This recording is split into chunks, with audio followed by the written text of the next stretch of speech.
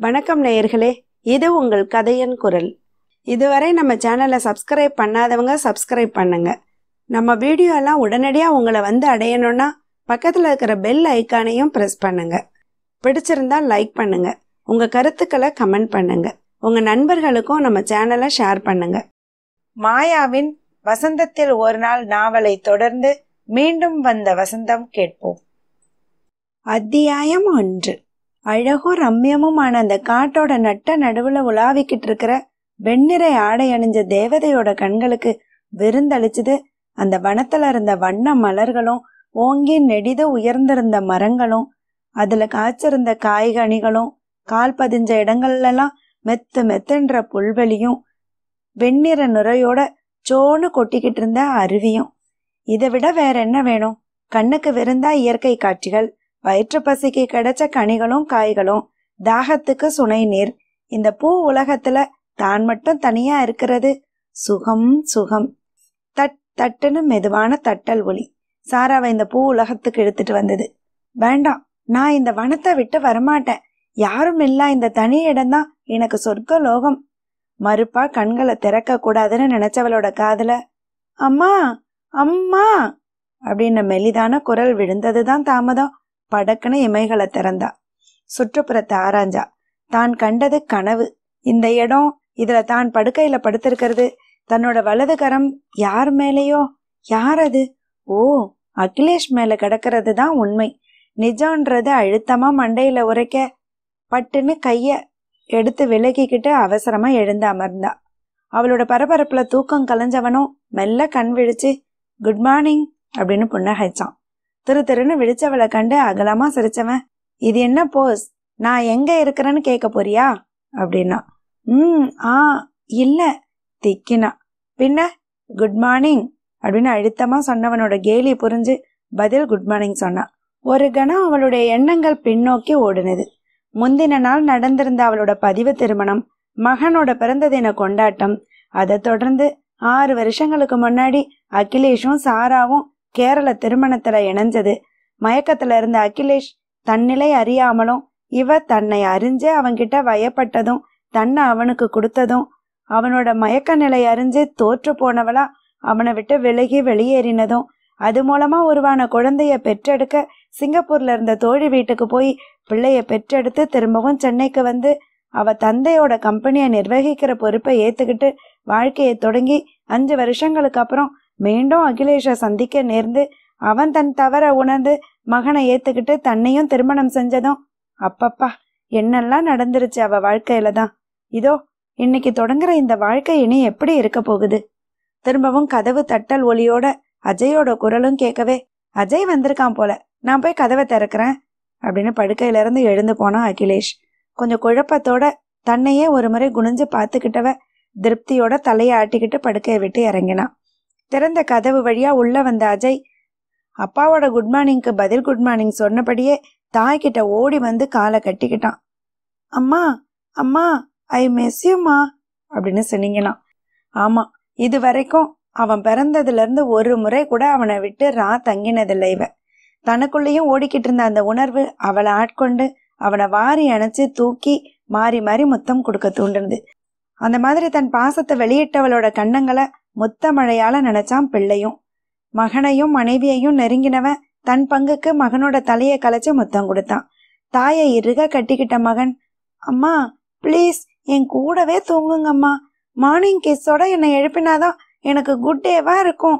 ப்ளீஸ்மா முதல் நாள் நடந்த நிகழ்ச்சிகளால ஏதோ குழப்பம் அடைஞ்சிருக்கிறான் அஜய்ன்றது ரெண்டு பேருக்குமே புரிஞ்சுது. அம்மாவும் உன்னை லாஸ்ட் நைட் மிஸ் பண்ணினப்பா ஸோ நாம இனி ஒன்னா தான் தூங்கணும் ஓகே சிரிப்போட முடிக்க நினைச்சா. அப்போ அப்பா இடையில சரிகனா அகிலேஷ் ஐயையோ அப்பாவும் தான் என் கூட தூங்கணும். உங்களுக்கு தெரியலையா? அப்படின்னு குழந்தைக்கு ஈடா ம் எனக்கு தெரியலையே. இனி அஜய் எப்படி சொல்றானோ அப்படித்தான் நடக்கணும். ஓகேவா சாரா? அப்படின்னு மனைவியை கூட்டு சேர்த்தான். சரி சரி ஸ்கூலுக்கு நேரம் ஆயிடுச்சு நேத்தே லீவ் ஆயிட்டதுனால இன்னைக்கு கண்டிப்பா போகணும். வா வா புறப்படலாம். சொன்னபடி புறப்பட ஆயத்தமானா சாரா. எங்கே? அகிலேஷ் கேட்டான். என் வீட்டுக்கு? சொன்ன சாராவை நேராக பார்த்தான். இதுவும் உன் வீடு தான் சாரா? அப்படின்னா. ஆ. ஏதோ சொல்ல வந்தவ அவனோட நேர் பார்வையை உணர்ந்து மகனை பார்த்துட்டு "அ- அதாவது நாம நம்ம அந்த வீட்டில் தான் எல்லாம் அஜயோட யூனிஃபார்ம் ஷூ எல்லாம் இருக்கும். அங்கே போய் தயார் பண்ணி அவனை ஸ்கூலுக்கு அனுப்பணும். அப்படின்னா. அஜயோட எல்லா பொருட்களையும் எடுத்துக்கிட்டு சாரதாம்மா காலையிலே வந்திருப்பாங்க. அதனால இங்கிருந்தே அவனை ஸ்கூலுக்கு அனுப்பலாம் அப்படின்னு முடிச்சான் அகிலேஷ். ஆச்சரியம் தொலங்க அவனை பார்த்தவ அவனோட முன் யோசனைய உள்ளுக்குள்ள மெச்சுக்கிட்டா. அன்னைக்கே சாராவோட பெற்றோர் பெங்களூருக்கு புறப்பட இருந்ததுனால அகிலேஷ் வீட்ல இருந்து அவங்களோட சாராவும் தன் வீட்டுக்கு கிளம்பினான் அகிலேஷும் கூட வர்றதா சொன்னதை மறுத்து சாயந்தரம் அஜய வீட்டுக்கு அழைச்சிட்டு வர சொல்லிட்டு கிளம்பினான் அன்னைக்கு அவளுக்கு தன் பெற்றோரோட தனியா உறவாடணும் போல இருந்தது. பெங்களூர் வீட்டில் மூணு பேருமா இணைஞ்சு வாழ்ந்த வாழ்க்கை மீண்டும் வேணும்னு நினைச்சா. இவ கேக்குறத வாங்கி கொடுக்கற தந்தை இவளுக்கு பிடிச்சதை மட்டும் சமைக்க செய்யற தாய். கேரம் செஸ் கார்ட்ஸ் மாதிரியான விளையாட்டுல அதிகமான முறைகள் இவ வெற்றி அடையிற தருணங்கள். இது எல்லாத்தையும் ஒரு ரீவைண்ட்ல கொண்டு வந்துட்டா எப்படி இருக்கும்? அவ அவளா வாழ்ந்த நாட்கள் திரும்ப வருமா? ஏதோ ஒரு தடை பெற்றோருக்கும் சாராவுக்கும் இடையில ஏற்பட்டிருந்தது. ஆசை ஆசையா பெண்ணை வளர்த்து படிக்க வச்சு அருமையா ஊரே வியக்கிற மாதிரி திருமணம் செய்ய நினைச்சிருந்த கண்ணனும் ராதாவும் திடுதிப்புன்னு மகள் வயித்துல குழந்தை வளர்றது தெரிஞ்சதும் கண்ணு மண்ணு தெரியாத ஆத்திரத்துல அவளை திட்டினதுனால தன்மானம் அதிகமான அவளும் வீட்டில இருந்து புறப்பட்டுட்டா. இது நடந்து ஆறு வருஷங்கள் கடந்திருந்தாலும் ஒரு நாளும் அவளை நினைக்காம அவங்க இருந்ததே இல்லை. கண்ணின் மணி மாதிரி வளர்த்த மகள் கண்ணுல மண்ணை தூவிட்டான்னு நினைச்சு கலங்கி போனாங்க. ஆனாலும் அவளை கை விட்டுடாம பின்புலமா செயல்பட்டு அவளோட உற்ற நண்பர்களை கொண்டே அவளுக்கு தேவையான உதவிகளை செஞ்சுக்கிட்டு இருந்தாங்க. ஒரு நாள் அவளை அரவணைக்கிற நாள் வரும். தன் தவற உணர்ந்து அவளும் இந்த கூட்ட தேடி வருவான்னு காத்திருந்தாங்க. திடீர்னு ஒரு நாள் அகில் என்டர்பிரைசஸ் எம்டி அவங்க வீட்டுக்கு வந்து நடந்ததுக்கெல்லாம் காரணம் தான் தானோ தன்னுடைய மதியினத்தினால தான் காதலிச்ச பெண்ணை தவற விட்டுட இருந்தானோ இப்ப திரும்பவும் ஒரு வாய்ப்பா தவறி போன வாழ்க்கை கிடைச்சிருக்கணும் அது அவங்க தான் அவனுக்கு திரும்ப கொடுக்கணும்னு சொல்லவும் திகைச்சு அதுக்கப்புறம் மகிழ்ந்தாங்க. அதை தொடர்ந்து திருமண தேதியை இவங்க குறிச்சு கொடுக்க அது அதிர்ஷ்டவசமா அஜயோட பிறந்த நாளா ஆச்சு. எல்லாம் கைகூடி மகளையும் பேரனையும் நேரில் சந்திச்ச தினத்தை அவங்க மனசுல அழியா சித்திரமா பதிச்சு வச்சாங்க. ஆனா இதுவரைக்கும் மகளும் அவங்களும் தனியா பேசுற வாய்ப்பு கிடைக்காததுனால ஒரு ஊமை நாடகம் அந்த மூணு பேருக்கு இடையில நடந்துகிட்டு இருந்தது. சாராவும் பெற்றோரும் வீட்டுக்குள்ள நுழையறதுக்கு முன்னாடியே கேட்டை அகலமா திறந்து விட்ட காவலாளி விரைப்பா சல்யூட் அடிச்சான். உள்ள இருந்து வெளியில ஓடி வந்த பணியாட்கள் இவங்களை கண்டு பின்பக்கம் பார்த்து ஏமாந்து போனதை பார்த்தவளோட கண்கள்ல அவங்களோட கையில இருந்த ஆரத்தி தட்டுப்பட்டு கொஞ்சம் நெகிழ்வை கொடுத்தது. இது என்ன ஃபார்மாலிட்டிஸ் அப்படின்னு செல்லமா சொன்னவ அப்பா அம்மாவுக்கு தேவையானதை கவனிங்க அப்படின்னுட்டு உள்ள நுழைஞ்சா. அன்னைக்கு ஆஃபீஸ் வர முடியாததுனால வேலைகளை மேனேஜர் சந்தோஷத்தை கவனிச்சுக்க சொல்லி ஃபோன் பண்ணி சொல்ல அவர் ரொம்ப நாளுக்கு அப்புறம் தன் பெரிய முதலாளியை சந்திக்க விரும்புறதா புறப்பட்டு வீட்டுக்கு வந்தார். முதல் நாள் பார்ட்டியில வேலை விஷயமா எதுவும் பேச முடியாததை இன்னைக்கு பேச நினைச்சிருந்தார். கொஞ்ச நேரத்துல சாரா வீட்டுக்கு வந்தவர் கண்ணன் சார்கிட்டயும் அவருக்கு ஏற்பட்ட சந்தேகங்களையும் சில திட்டங்களையும் தெளிவுபடுத்திக்கிட்டு கிளம்பினார். தாயும் தந்தையும் இருந்த அறை கதவை தட்டி அனுமதி வாங்கி உள்ள நுழைஞ்சா மகள் சாரா. படுக்கையில பெட்டியை திறந்து வச்சுக்கிட்டு துணிகளை அடுக்கிக்கிட்டு இருந்தாங்க தாய். அவங்க பக்கத்துல உட்காந்து அன்னைய தினசரிய பிரிச்சுக்கிட்டு இருந்தார் அப்பா. இவளை கண்டதும் என்னன்ற மாதிரி பார்த்த ரெண்டு பேரையும் நெருங்கி படுக்கைக்கு பக்கத்துல கீழே உட்கார்ந்தவளை தடுத்தாங்க ரெண்டு பேரும். ரெண்டு பேரையும் சேர்ந்தா மாதிரி தொட்டுக்கிட்டு உட்காந்தவ தன்னோட முகமாய தாய் மடி மேல வச்சு ஏக்கமான பார்வை ரெண்டு பேர் மேலையும் படியே பேசினான் ஐ எம் சாரிம்மா சாரிப்பா நான் தெரியாம செஞ்ச தவற மன்னிச்சிடுங்க. என்னை நீங்க எந்த அளவுக்கு நம்பினீங்கன்னு எனக்கு தெரியும். அந்த நம்பிக்கையில மண்ணை போட்ட நான் செஞ்சது எவ்வளவு பெரிய தவறுன்னு புரிஞ்சாலும் உங்களையும் வருத்தப்படுத்த முடியாம தான் நான் தனியா வந்தேன். ஆனா என்னோட எல்லா வெற்றிக்கும் பின்னாடி நீங்க இருந்திருக்கீங்கன்றது தெரிஞ்சப்போ எனக்கு எவ்வளவு ஆனந்தமாவும் பெருமையாவும் இருந்தது தெரியுமா? தேங்க்ஸ்பா தேங்க்ஸ்மா அப்படின்னு பெற்றோர்கிட்ட தன்னோட ஆற்றாமையை வெளியிட்டா. அவளை ஆற தழுவிக்கிட்டே அம்மாவும் கீழே இறங்கி அவகிட்ட உட்காந்து கலங்கின கண்களை கட்டுப்படுத்திக்கிட்டு கணவரை ஏறிட்டு பார்த்தாங்க. அவர் தன் கண் கண்ணாடியை கழட்டி கண்களை தொடச்சிக்கிட்டு திரும்ப கண்ணாடியை மாட்டிக்கிட்டார். பாச போராட்டத்துல இறுதி வெற்றியாளர் யார்? அன்னைக்கு முழுக்க ஏதோ வானத்துல பறக்கிற மாதிரி உணர்ந்தா சாரா. ஆறு வருஷங்களா தவறவிட்ட பெற்றோர்களுடனான வாழ்க்கைய அன்னைக்கே ஈடுகட்ட நினைச்ச மாதிரி அவங்கள அன்புல திக்கு முக்காட செஞ்சா. அது வரைக்கும் எஜமானியா மரியாதையோட தள்ளி நின்ன பணியாட்கள் அன்னைக்கு ஒரு புது அன்பிற்கினிய மகளை கண்டு நெருங்கி நின்று ரசிச்சாங்க. நிதானமா ஒவ்வொரு வேலைகளையும் சொல்லி ஏவினவ தாய் தந்தைக்காக வேகமா செய்ய சொல்லி அன்னைய மதிய உணவையும் மாலை டிஃபனையும் அவளே அவங்களுக்கு பரிமாறி கூடவே இருந்து உண்டும் மகிழ்ந்தா. பெற்றோர்களுக்கு அவங்களோட மகள் தொலைஞ்சு போன மகள் திரும்ப கிடைச்சா மாதிரி அகமகிழ்ந்து அவளோட இணைஞ்சு கழிச்சாங்க. மதிய உணவை எடுத்துக்கிட்டு அஜய் ஸ்கூலுக்கு போயிட்டு வந்த சாரதாம்மா அங்க அகிலேஷ் வந்திருந்து அஜய சாப்பிட வச்சத புலகாங்கிதத்தோட சொன்னதை கேட்டு மூணு பேருமே மகிழ்ந்தாங்க. இவளையும் மறந்துடாம கால் பண்ணி விசாரிச்சான்றது தெரிஞ்சு பெற்றோர்கள் திருப்தி அடைஞ்சாங்க. இன்னும் ஒரு வாரம் அவளோட தங்கி போக சொல்லி பெற்றோர்களை கெஞ்சி சம்மதிக்க வச்சா சாரா.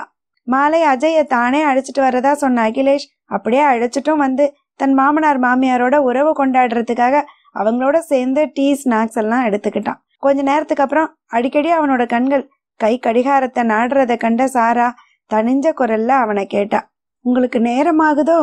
நேரமானா நீங்க வேணா புறப்படுங்களேன் அப்படின்னா எனக்கு நேரம் ஆகுதா உனக்கு? புரியாத குழப்பத்தோட அவளை பார்த்து அவனும் தனிஞ்ச குரல்லையே கேட்டான். எனக்கு நான் கொஞ்சம் லேட்டாக தான் தூங்குவேன். ஒன்றும் பிரச்சனை இல்லை. அஜயை தூங்க வச்சுட்டு நான் தூங்கிக்கிறேன். நீங்கள் புறப்படுங்க அப்படின்னா. திகைச்சு போன அகிலேஷ் அவளை வினோதமாக பார்த்தான். மாப்பிள்ள நீங்கள் பேசிக்கிட்டு இருங்க. அஜய் பூனைக்குட்டிக்கு பால் ஊற்றி கொடுத்துட்டு வர்றோம் அப்படின்னு சொல்லிக்கிட்டே அஜயை அழைச்சிக்கிட்டு கண்ணன் ராதா அம்மா தம்பதி வெளியேறினாங்க.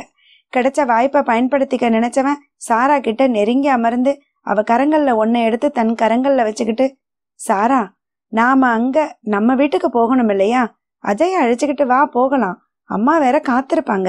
அவசரத்தோட பேசினான் மெதுவா அவன்கிட்ட இருந்து கையை விடுவிச்சுக்கிட்டவ சாரி அகிலேஷ். நான் அஜய் நாங்க இங்கேயே இருக்கிறோம். அப்படின்னா தலைய குனிஞ்சு அமர்ந்திருந்தவ ஆ என்ன சாரா? ஆமா நான் இப்போ அங்க வரல.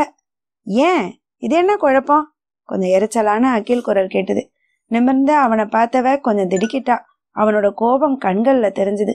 அஜய பத்தி பேசித்தானே ஒரு முடிவுக்கு வந்தோம். இப்ப என்ன பிரச்சனை? அது அம்மா அப்பாவை ஒரு வாரம் இங்க இருக்க சொல்லியிருக்கேன். அதனால அப்படின்னு இழுக்கும்போதே பட்டனை தட்டி விட்ட மாதிரி அவனோட முகம் மலர்ந்தது. ஓ அங்கிள் ஆண்டி கூட இருக்க நினைச்சு சொன்ன போல. ஓகே ஓகே நான் அம்மா கிட்ட சொல்லிக்கிறேன்.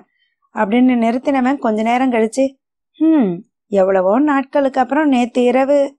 இல்ல அதிகாலை நல்ல தூக்கம் தூங்கினேன் அப்படின்னு நிறுத்திட்டு அவளை அர்த்த புஷ்டியோட பார்த்தான். அவளுக்கும் லேசான வெட்கம் கலந்த புன்னகை தோன்றினது. அதை ஒதுக்கி அம்மா விழிச்சுக்கிட்டு இருப்பாங்களோ? நீங்க போய் அவங்கள தூங்க சொல்லுங்க அப்படின்னா. ஓகே அப்படின்னு எழுந்தவன் அவளையும் எழுப்புற நோக்கத்துல ஒரு கையை ஏந்தினான். தயங்கினாலும் அதை ஏத்துக்க அவ மறுக்கல. அதுக்கப்புறம் கரத்துல ஏந்தின அவளோட கையோட புறங்கையில லேசான இதழ் ஒற்றல் ஒன்ன பதிச்சான். கரங்களை வெடுக்குன்னு இழுத்துக்க நினைச்சா ஆனா அது அவளால முடியல. அவளோட இயக்கமே அவனோட ஆளுகைக்கு உட்பட்டிருந்த மாதிரி அவளுக்கு தோன்றினது. அதுக்கப்புறம் சின்ன சிரிப்போட அவனே விடுதலை செஞ்சுட்டு கிளம்பினான். தன்னையே புரிஞ்சுக்க முடியாதவளா அவன் நின்னான். அத்தியாயம் இரண்டு. புவனேஸ்வரி அம்மாவோட பேரனுக்கு பிறந்த நாள் விழா முடிவடைஞ்சு மூணு நாள் போனதும் அவனுடைய அருமையை உணர்ந்த அவங்க அவன் இல்லாம தன்னால தனியா இருக்க முடியாதுன்னு தீர்மானிச்சு ஒரு வாரம் சாரா அவ பெற்றோரோட இருக்க முடிவு செஞ்சிருக்கிறது தெரிஞ்சு அதை தடுக்க முடியாம அவங்க கிளம்பி சாரா வீட்டுக்கு வந்தாங்க. சம்பந்திகளோட உறவாடவும் வழி செஞ்சுக்கிட்டாங்க. அவங்கள அழைச்சிக்கிட்டு சென்னையில் இருக்கிற ஷாப்பிங் மால்களுக்கு போய் பேரனுக்குன்னு கண்ணில் பட்டதையெல்லாம் வாங்கி குவிச்சு கையில் இருந்ததையெல்லாம் கரைக்க கங்கணம் கட்டினாங்க. பகலெல்லாம் சுத்திட்டு மாலை பேரன் வீடு திரும்புகிற சமயத்துக்கு வீட்டுக்கு திரும்பினாங்க. பிள்ளையோட கொஞ்சம் மகிழ்ந்த பெரியவங்களை கண்டு கொஞ்சம் பயமும் வந்தது தாய்க்கு. அதீதமான அன்பாலையும் பாசத்தாலையும் மகனோட பிடிவாதமும் அதிகமாயிடுறதா இவளுக்கு தோன்றினது. இரவுல பேரனை தன்னோட படுக்க வச்சுக்கிறதா சொல்லி அழைச்சப்போ சம்பந்திங்க முகம் தொங்கி போனதை பார்த்து சரி ஒரு வாரம் தானேன்னு விட்டு கொடுத்தாங்க. தினமும் வந்து பார்த்து போன அகில் அந்த வீட்டுல தங்குறதுக்கு எண்ணம் கொள்ளல. அன்னைக்கு சனிக்கிழமை. மறுநாள் கண்ணன் ராதா தம்பதி பெங்களூர் போக இருக்கிறதுனால அன்னைக்கு முழுக்க பேரனோட ஷாப்பிங் அவுட்டிங்னு போக திட்டம் போட்டாங்க. காலையில ஆபீஸ் போயிட்டு மதியம் வந்து அவங்களும் அவங்களோட சேர்ந்துக்கிறதா அகிலேஷ் சாரா உறுதி சொன்னாங்க. அதன்படியே ரெண்டு பேரும் அந்த மாலுக்குள்ள நுழையும் போது அவங்க ரெண்டு பேரையும் கண்ட மூத்தவங்களும் பிள்ளையும் அகமகிழ்ந்தாங்க. அது வரைக்கும் பெரியவங்களுக்கு துணையா நடந்துகிட்டு இருந்தவன் தன் பெற்றோரோட ஓட முற்பட்டான். ரெண்டு பக்கத்துலயும் ரெண்டு பேரோட கரங்களை பிடிச்சுக்கிட்டு ஓடத் தொடங்கினான். அந்த இடத்தோட ஆரவாரங்களுக்கு இடையில சாரா அகிலேஷோட வேலை டென்ஷன் குறைஞ்சு அவங்களும் சிறு குழந்தையா மாறினாங்க. அது வரைக்கும் சுத்தி களைச்சு போயிருந்த மூத்தவங்க ஒரு ஃபுட் கோர்ட்ல உட்காந்துக்கிட்டாங்க விளையாட்டு இடத்தை நோக்கி அவங்கள எடுத்துட்டு போன அஜய் அங்கிருந்த எல்லாத்தையும் விளையாட ஆசைப்பட்டான். ஸ்னோ பவுலிங் பால உருட்டி விட்ட அஜயோட ஸ்பீடுக்கு ரெண்டு இலக்க விழுந்தது. சாராவால மூணு தள்ளப்பட்டது. எல்லாத்தையும் விழ தட்டினா அகிலேஷ். கை கொட்டி சிரிச்ச பிள்ளையோட சந்தோஷத்துல கலந்துக்கிட்டு சிரிச்சுக்கிட்டு இருந்த சாராவை பார்த்து பெருமையோட சிரிச்சான் அகிலேஷ். மினி கார் ரேஸ்ல கலந்துக்கிட்டு மூணு பேரும் ஒருத்தருக்கு ஒருத்தர் காரை இடிச்சு விளையாடினப்போ இடையில வந்த சிறுமிக்கு இடம் கொடுத்து அஜய் விலகி போறதை பார்த்து பெருமிதம் அடைஞ்சாங்க பெற்றோர். கார் ரேஸை முடிச்சுட்டு மூணு பேரும் வெளியேறும்போது அதை குறிச்சு குழந்தைகிட்ட கேட்டாங்க. சீரியஸான குரல்ல அஜயும் பதில் சொன்னான். தனக்கு ஒரு தங்கை பாப்பாவா இருந்தா அவன் விட்டு கொடுத்துருப்பான் இல்லையான்னு. அசந்து போய் நின்னாங்க ரெண்டு பேரும். தன் மனைவியை பார்த்து கண்ணடிச்சு சிரிச்சான் கணவன்.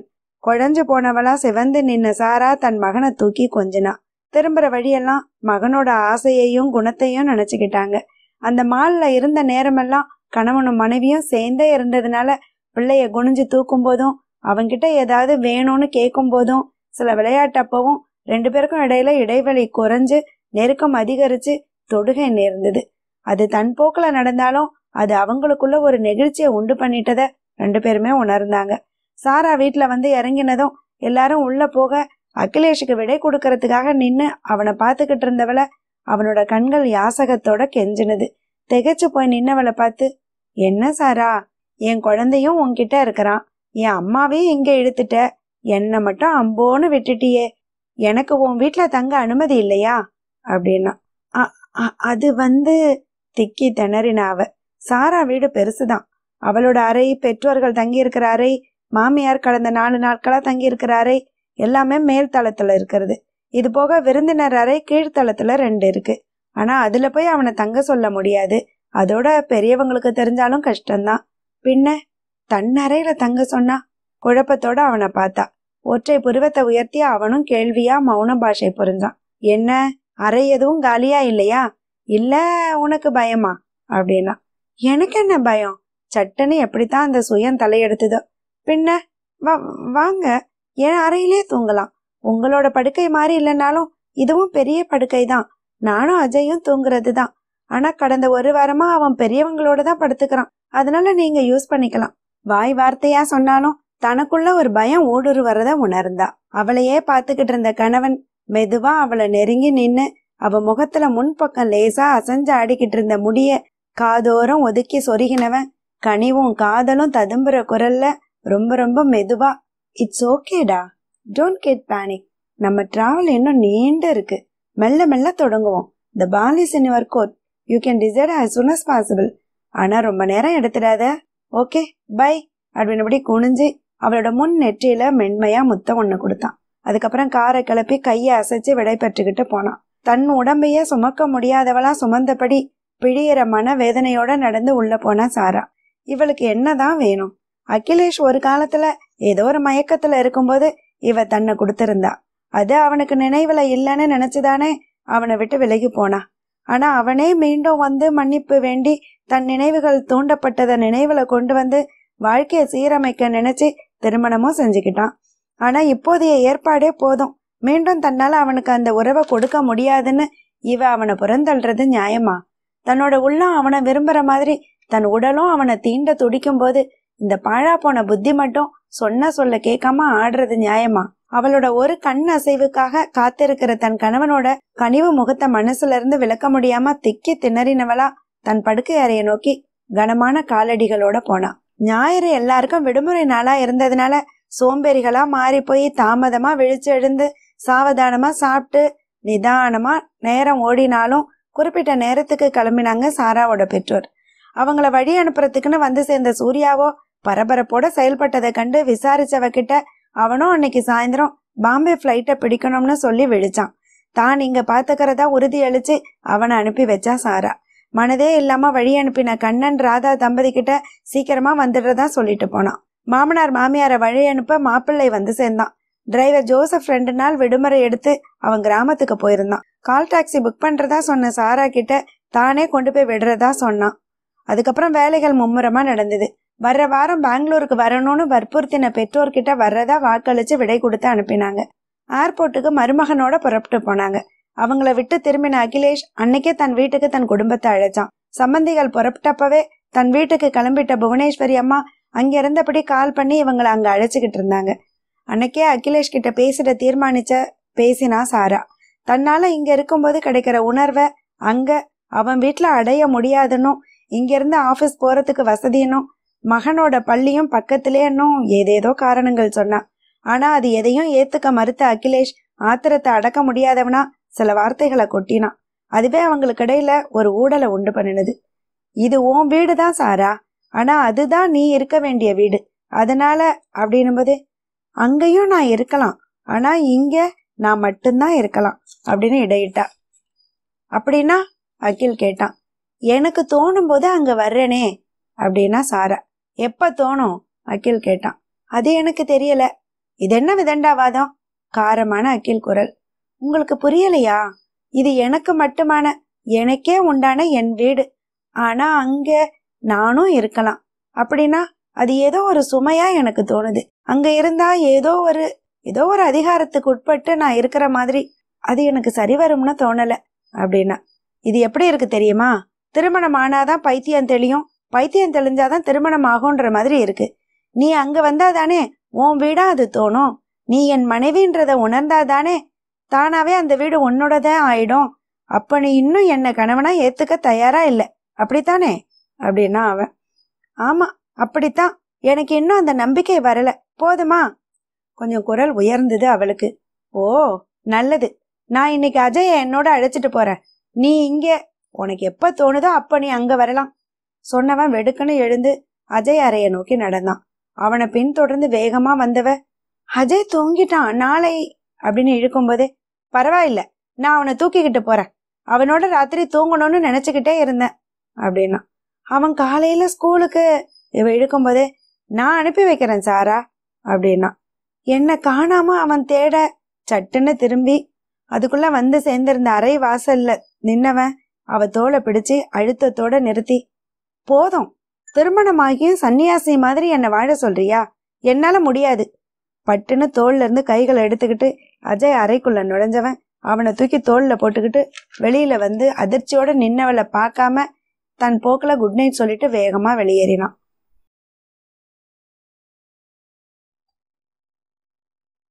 அத்தியாயம் மூன்று. ஒரு வாரத்துக்கு அப்புறம் அன்னைக்கு ரொம்ப உற்சாகத்தோட நடமாடிக்கிட்டு இருந்தா சாரா. இவளோட உயர் தோழி கடல் கடந்து இருந்தாலும் தன் நினைவுகளை தாங்கிக்கிட்டு தினமும் தன்னோட போன்ல பேசிக்கிட்டு ஆறுதல் அளிக்கிற சுஷ்மா அன்னைக்கு வரப்போறா. கடந்த வாரம் நடந்திருந்த எல்லா நிகழ்ச்சிகளையும் மறக்கடிச்சது சுஷ்மாவோட வரவு குறிச்ச செய்தி.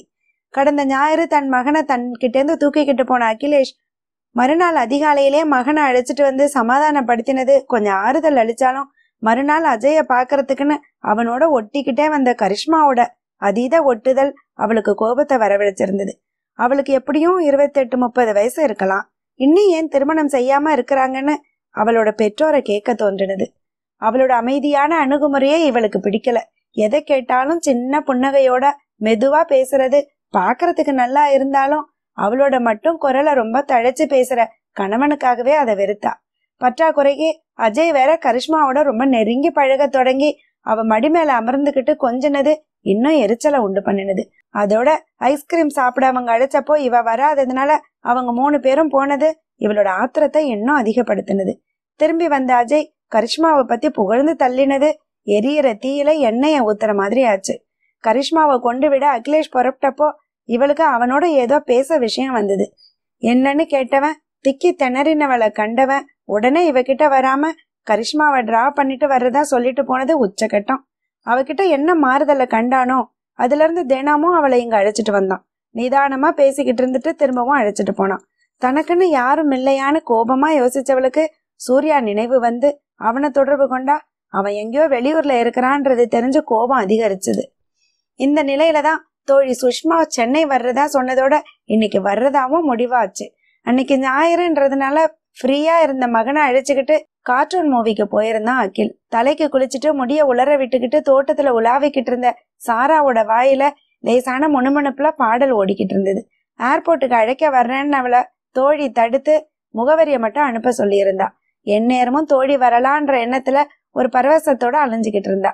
அன்னைக்கு மலர இருந்த மல்லிகை பூக்களை பறிச்சுக்கிட்டு இருந்தவள காலில் முட்டிக்கிட்டு கொஞ்சின பூனை குட்டியை பார்த்ததும் ஆசையோட கீழே குனிஞ்சு அதோட ரோமத்தை தடவி கொடுத்தா. மியாவ் மியாவுன்னதோட இவளும் பதிலுக்கு மியாவுன்னு குரல் கொடுத்தா. அம்மா அம்மா அஜயோட குரல் வீட்டுக்குள்ள இருந்து கேட்டதும் கைகள்ல பூனைக்குட்டிய தூக்கிக்கிட்டு உள்ள போனான் அஜய் இங்க இருக்கேன் பதில் சொல்லிக்கிட்டே போனான் அம்மா ஓடி வந்த மகன் அவளை கட்டிக்கிட்டான் அம்மா சூப்பர் மூவிமா நீங்களும் வந்திருக்கலாம் அப்படின்னு குறப்பட்டான் மகன். பின்னாடியே வந்திருந்த அகிலேஷ் ஆமா நீயும் வந்திருக்கலாம் சாரா அப்படின்னு சிரிச்சான். அம்மா உங்க ஃப்ரெண்டு வந்துட்டாங்களா? அஜய் கேட்கவும் ம் இன்னும் இல்லடா இப்ப வந்துருவாங்க அப்படின்னு பதில் சொன்னான். ஓகேம்மா அப்பா நான் ஹோம்ஒர்க் செய்யணும். எனக்கு ஹெல்ப் பண்றீங்களா? அப்படின்னா ம் பண்ணலாமே. நீ போய் எடுத்து வச்சு தொடங்க நான் இப்ப வர்றேன் அப்படின்னு அவனை அனுப்பினவன் திரும்பி அவ கையில இருந்த பூனைக்குட்டிய தன் கையால தடவி கொடுத்துக்கிட்டே கொடுத்து வச்ச பூனைக்குட்டி அப்படின்னா லேசான சிரிப்போட. லேசா அணைச்சு பிடிச்சிருந்தவ அவன் கையிலேயே அதை விட்டா. இப்பவும் கொடுத்து வச்ச பூனைதான் அப்படின்னபடி அவனை நேரா பார்த்தா. அகலமா சிரிச்சான் அகிலேஷ். கொஞ்ச நேரத்துல சுஷ்மா வந்துட்டா. அவளோட கூட அந்த வீட்டுக்கு கலகலப்பும் வந்தது. ஆமா சுஷ்மா ரொம்ப சுட்டி பெண். தானும் சிரிச்சு மத்தவங்களையும் சிரிக்க வைக்கிறதோட அவ இருக்கிற இடமே கலகலப்பா இருக்கும்படி பார்த்துப்பா. முதல்ல சாராவை கட்டி அணைக்கும் போது லேசா கண் கலங்கினா. அப்புறம் அஜய தூக்கி அணைச்சி முத்தம் கொடுத்து கொஞ்சினா. அங்கிருந்து அகிலேஷ பார்த்து வெளிப்படையா விசில் அடிக்க தொடங்கினா. டி இவர் தானேடி மிஸ்டர் அகிலேஷ்?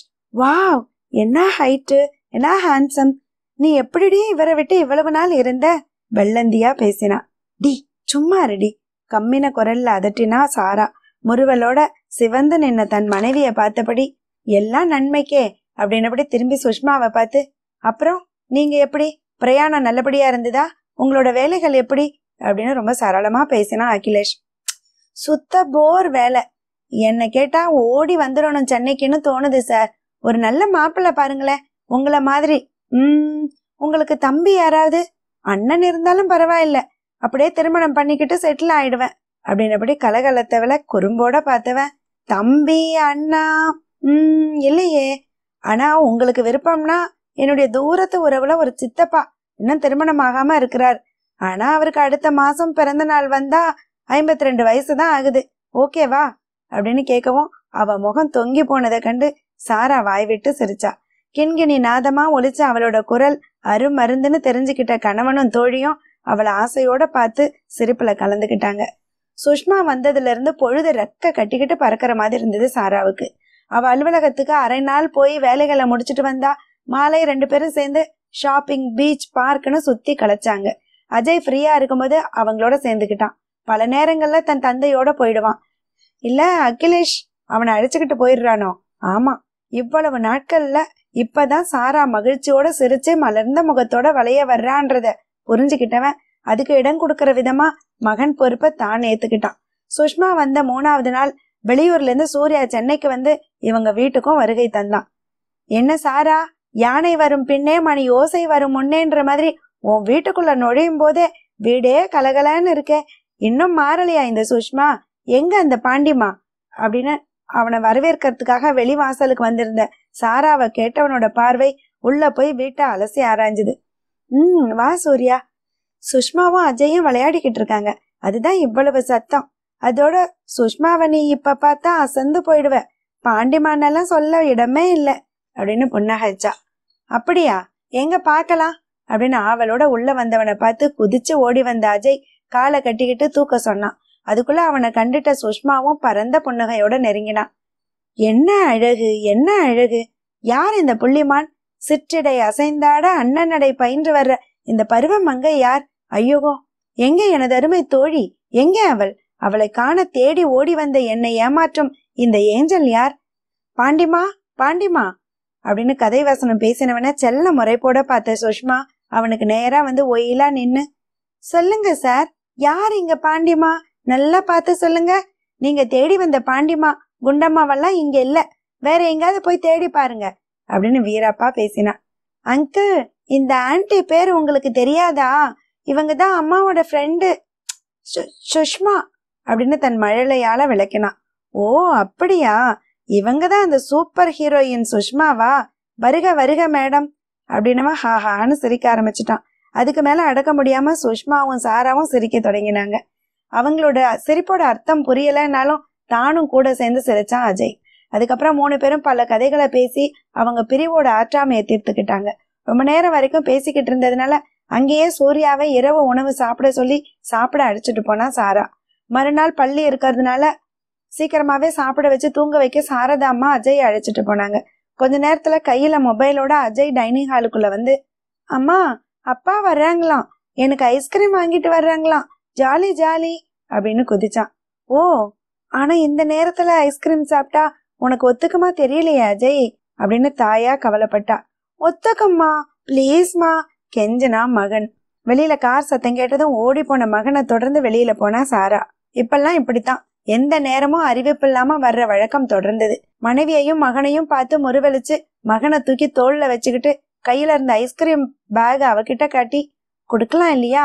அப்படின்னு சந்தேகம் கேட்டான் கணவன். ம் இது வரைக்கும் இரவுல கொடுத்ததில்ல. ட்ரை பண்ணலாம் அப்படின்னா சாராவும்.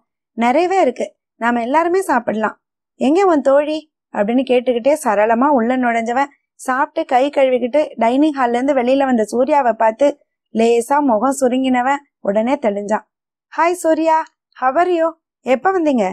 பாம்பேல இருந்து எப்ப வந்தீங்க?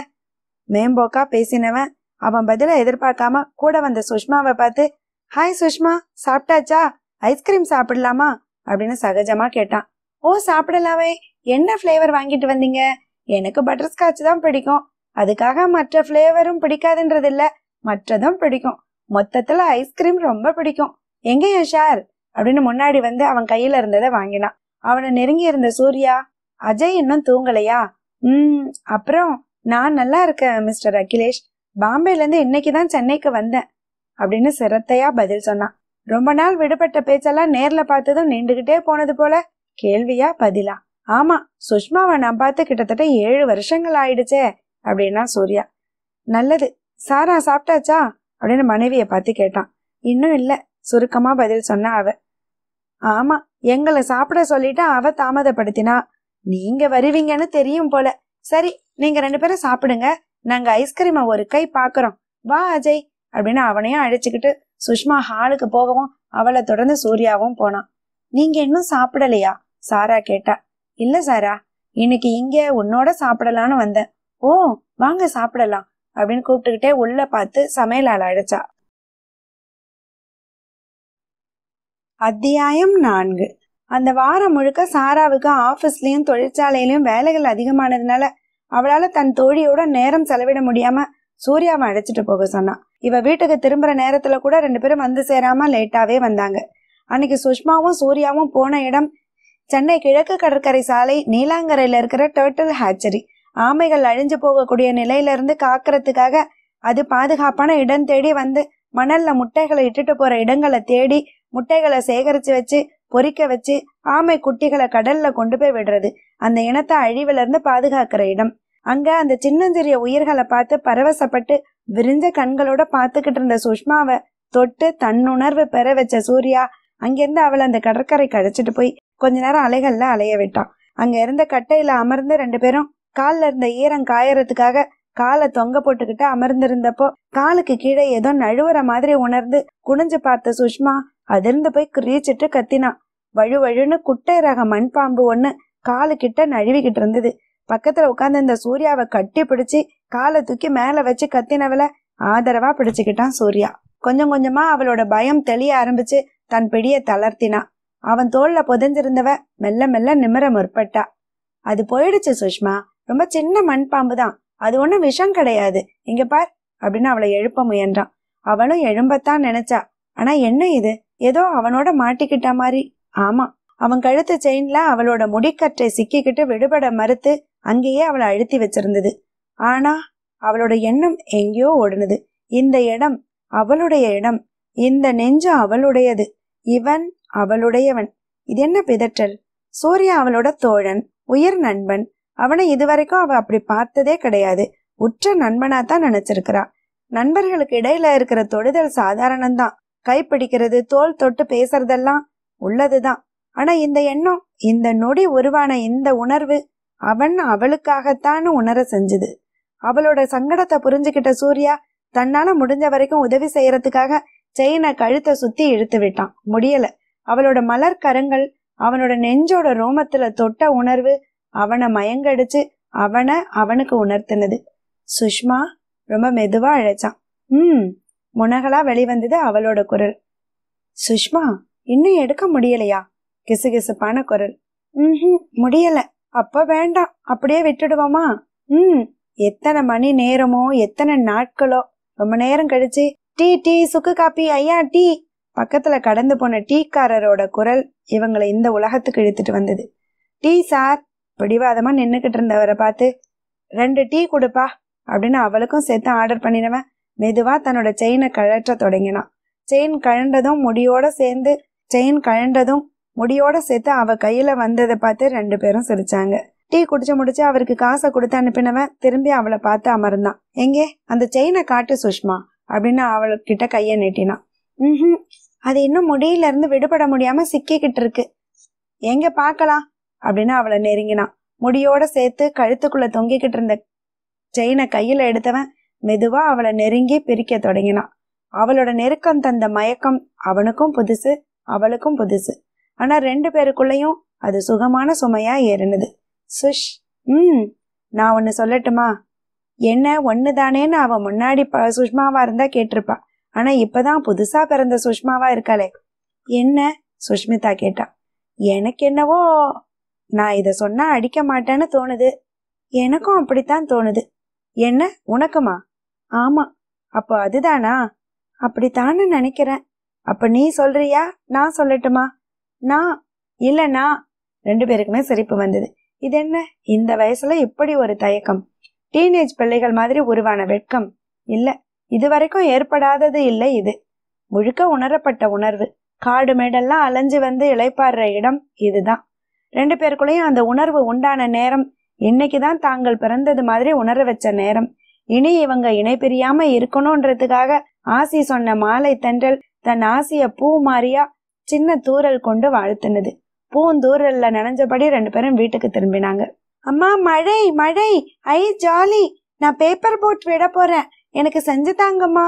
அஜய் கேட்டதை செய்ய தெரியாம விழிச்சுக்கிட்டு நின்ன மனைவிய ஓர கண்ணால பார்த்தபடி உங்க அம்மாவுக்கு செய்ய தெரியாதுன்னு நினைக்கிறேன் அஜய் அப்படின்னா அகிலேஷ். அவன் தெரிஞ்சுக்கிட்டதை நினைச்சு வெட்கி ஆமாண்டா எனக்கு பேப்பர் போட் செய்ய தெரியாது. உன் அப்பாவே செய்ய சொல்லு அப்படின்னபடி வாசல்ல நின்னு தோட்டத்துல தூரலை பார்த்துக்கிட்டு இருந்த சாரா சர்ன்னு உள்ள போனான் அவளை புன்னகையோட பார்த்துக்கிட்டே சிறுவனுக்கு ரெண்டு பேப்பர் போட் செஞ்சு கொடுத்துட்டு உள்ள வந்தவன் அவளை காணாம தேடி மேல போயிருப்பான்னு நினைச்சு அவ அறைய நாடி வந்தான். படுக்கை அறைக்கு வெளியில கிடந்த நாற்காலியில அமர்ந்து மொபைல்ல எதையோ உன்னிப்பா கவனிச்சு கேட்டுக்கிட்டு இருந்தவள நெருங்கினவன் ஹலோ என்ன ஆச்சு அப்படின்னு கேட்கவும் திடுக்கிட்டு விழிச்சவ அவனை பார்த்து சடக்குன்னு மொபைல பின்னுக்கு மறைச்சா. என்ன இது எனக்கு தெரியக்கூடாததா? அப்படின்னு கேட்டுக்கிட்டே அவளோட கையை பிடிக்க முயன்றான். ம் காட்ட மாட்டேன். அப்படின்னு அவளும் முடிஞ்ச வரைக்கும் மொபைல மேல பின்னாடின்னு அலைக்கழிச்சா. அவனும் அவ போன பக்கமெல்லாம் திரும்பி இறுதியில அவளோட மொபைல வாங்கி அவன் கைக்கு கொண்டு வந்து பார்த்தான். அதுல பேப்பர் போட் செய்யும் விதம் செய்முறை படத்தோட யூடியூப்ல ஓடிக்கிட்டு இருந்தத கண்டுட்டு வாய் விட்டு சிரிச்சான். அவ மூக்க பிடிச்சு செல்லமா ஆட்டிட்டு ஏன்? என்கிட்ட கேட்டு தெரிஞ்சுக்க கூடாதா? நான் சொல்லி கொடுத்தா கத்துக்க மாட்டியா? எனக்கும் உனக்கு சொல்லி கொடுக்க ஆசையா இருக்கும்போது தடை என்ன வந்தது? ம்?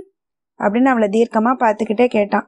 வெட்கி போனவளா குனிஞ்ச தலையை கொண்டு கீழே தரைய பார்த்துக்கிட்டே நின்னான் அவளை வற்புறுத்தி கத்து கொடுத்து போட் செய்ய வச்சான். அஜய் கிட்ட கொண்டு கொடுத்து அம்மா செஞ்ச போட்டுன்னதும் அவனுக்கு சந்தோஷம் பிச்சுக்கிச்சு.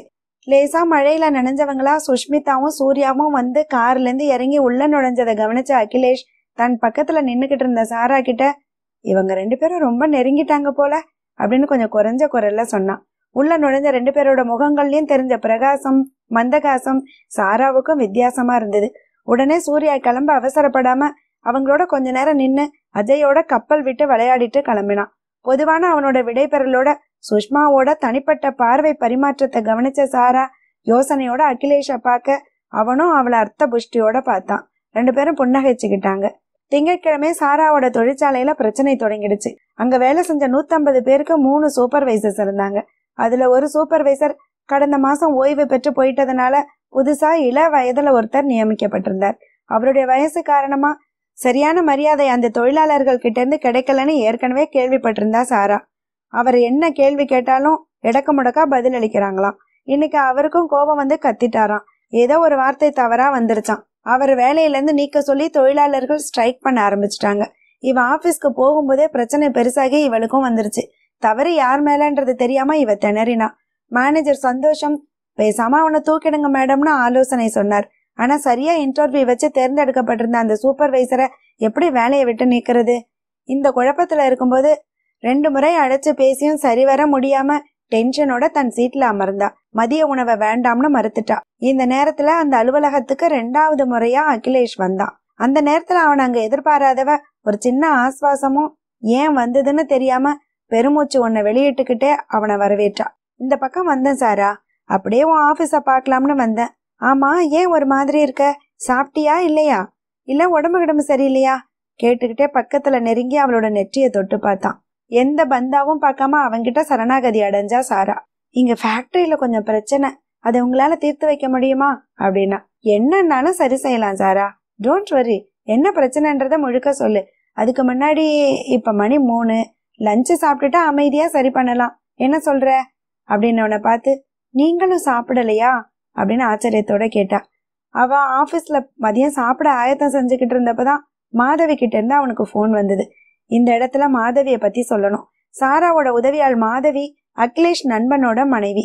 முதல் முறை அவன் இந்த சாரா என்டர்பிரைசஸ்க்கு வந்திருந்தப்போ சந்திக்க நேர்ந்து பேசி இருக்கிறாங்க அகிலேஷ் தன் மனைவி குறிச்ச பாதுகாப்புக்காக அப்பப்போ மாதவி கிட்ட பேசிக்கிட்டு இருக்கிறான். இன்னைக்கு பிரச்சனை பெருசாகி சாரா நெருக்கத்துக்குள்ளாக்கப்பட்டதும் அகிலேஷுக்கு மாதவி தகவல் தெரிவிச்சதுனால இவன் உடனே புறப்பட்டு வந்திருந்தான். ஆமா சாப்பிடல.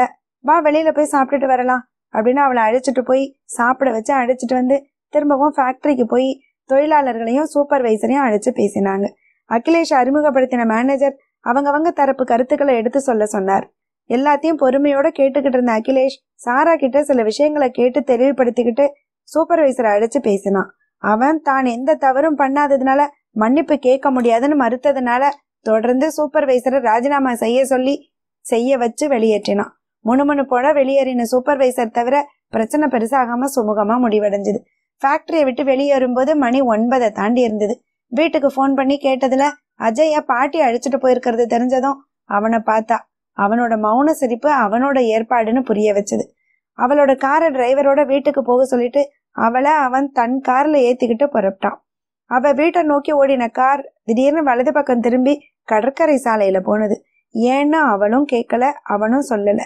அவளுக்கும் ஒரு மாற்றம் தேவையா இருந்தது. அந்த நேரத்து கடற்கரை பயம் கொடுக்கிற தனிமையில இருந்தது. எத்தனையோ ஜோடிகள் நடந்து கடந்து போன மணல் வெளிகள்ல இந்த ஜோடியோட காலடிகளும் பதிஞ்சுது.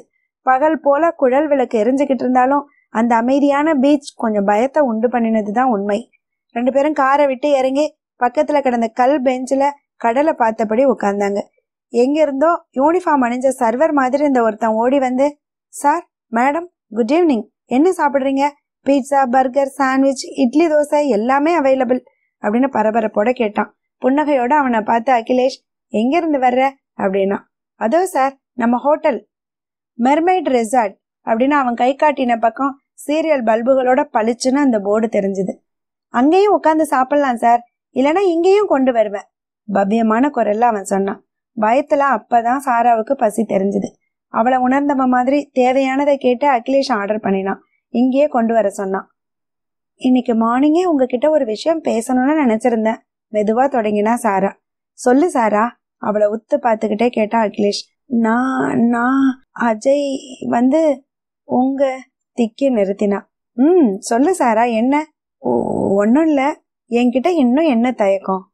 உன்கிட்ட எல்லாத்தையும் சொல்லத்தான் நான் நினைக்கிறேன். ஆனா நீ நெருங்க மறுக்கிறியே. இல் இல்ல அப்புறம் இவ்வளவு தயக்கத்துக்கு காரணம் என்ன? அப்படின்னவன் மெதுவா அவளை நெருங்கி அமர்ந்து அவ தோலை உராஞ்சிக்கிட்டு பேச முற்பட்டான். ஆனா அவனோட சூழ்ச்சி புரிஞ்சு சடக்குன்னு தள்ளி அமர்ந்தா. தனக்குள்ள சிரிச்சுக்கிட்டான். ஆர்டர் செஞ்ச இந்த உணவு வந்தது. அந்த நேரத்துக்கு அது அமிர்தமா இருந்தது. ரெண்டு பேரும் பசிய போக்கிக்கிட்டாங்க. கடைசியா அவங்க கேட்ட ஐஸ்கிரீம் வந்தது. வேற வேற பிளேவர்கள்ல கேட்டிருந்ததுனால தன்னோடத சுவைக்க சொல்லி ஒரு ஸ்பூன் எடுத்து அவளுக்கு ஊட்டினான் தன்னுதான் அவளும் பகிர்ந்துக்கிட்டா உதட்டோரம் ஒட்டி இருந்ததை தன்னோட புறங்கையால தொடச்சு விட்டான். அவனோட சாதாரண இந்த செய்கை அவளோட உள்ளத்தை நெகிழ வச்சுது. இப்ப சொல்லு என்ன சொல்ல ஆரம்பிச்ச? அதுக்கு மேல அவளுக்கு தடை எதுவும் இல்லாம பேச்சு சரளமாச்சு. ஒரு வாரத்துக்கு அஜய் அங்க உங்க வீட்டுல அம்மாவோட இருக்கட்டும். இங்க சுஷ்மாவும் ஒரு வாரம் இருந்துட்டு புறப்படுறதா சொன்னா அப்படின்னு நிறுத்தினான் என்ன? அம்மையார் மனசு இறங்கி வந்திருக்காங்க. என்ன ஆச்சு? ஏலியும் குழப்பமுமா கேட்டான். திடீர்னு அவளோட முகம் இருண்டுது.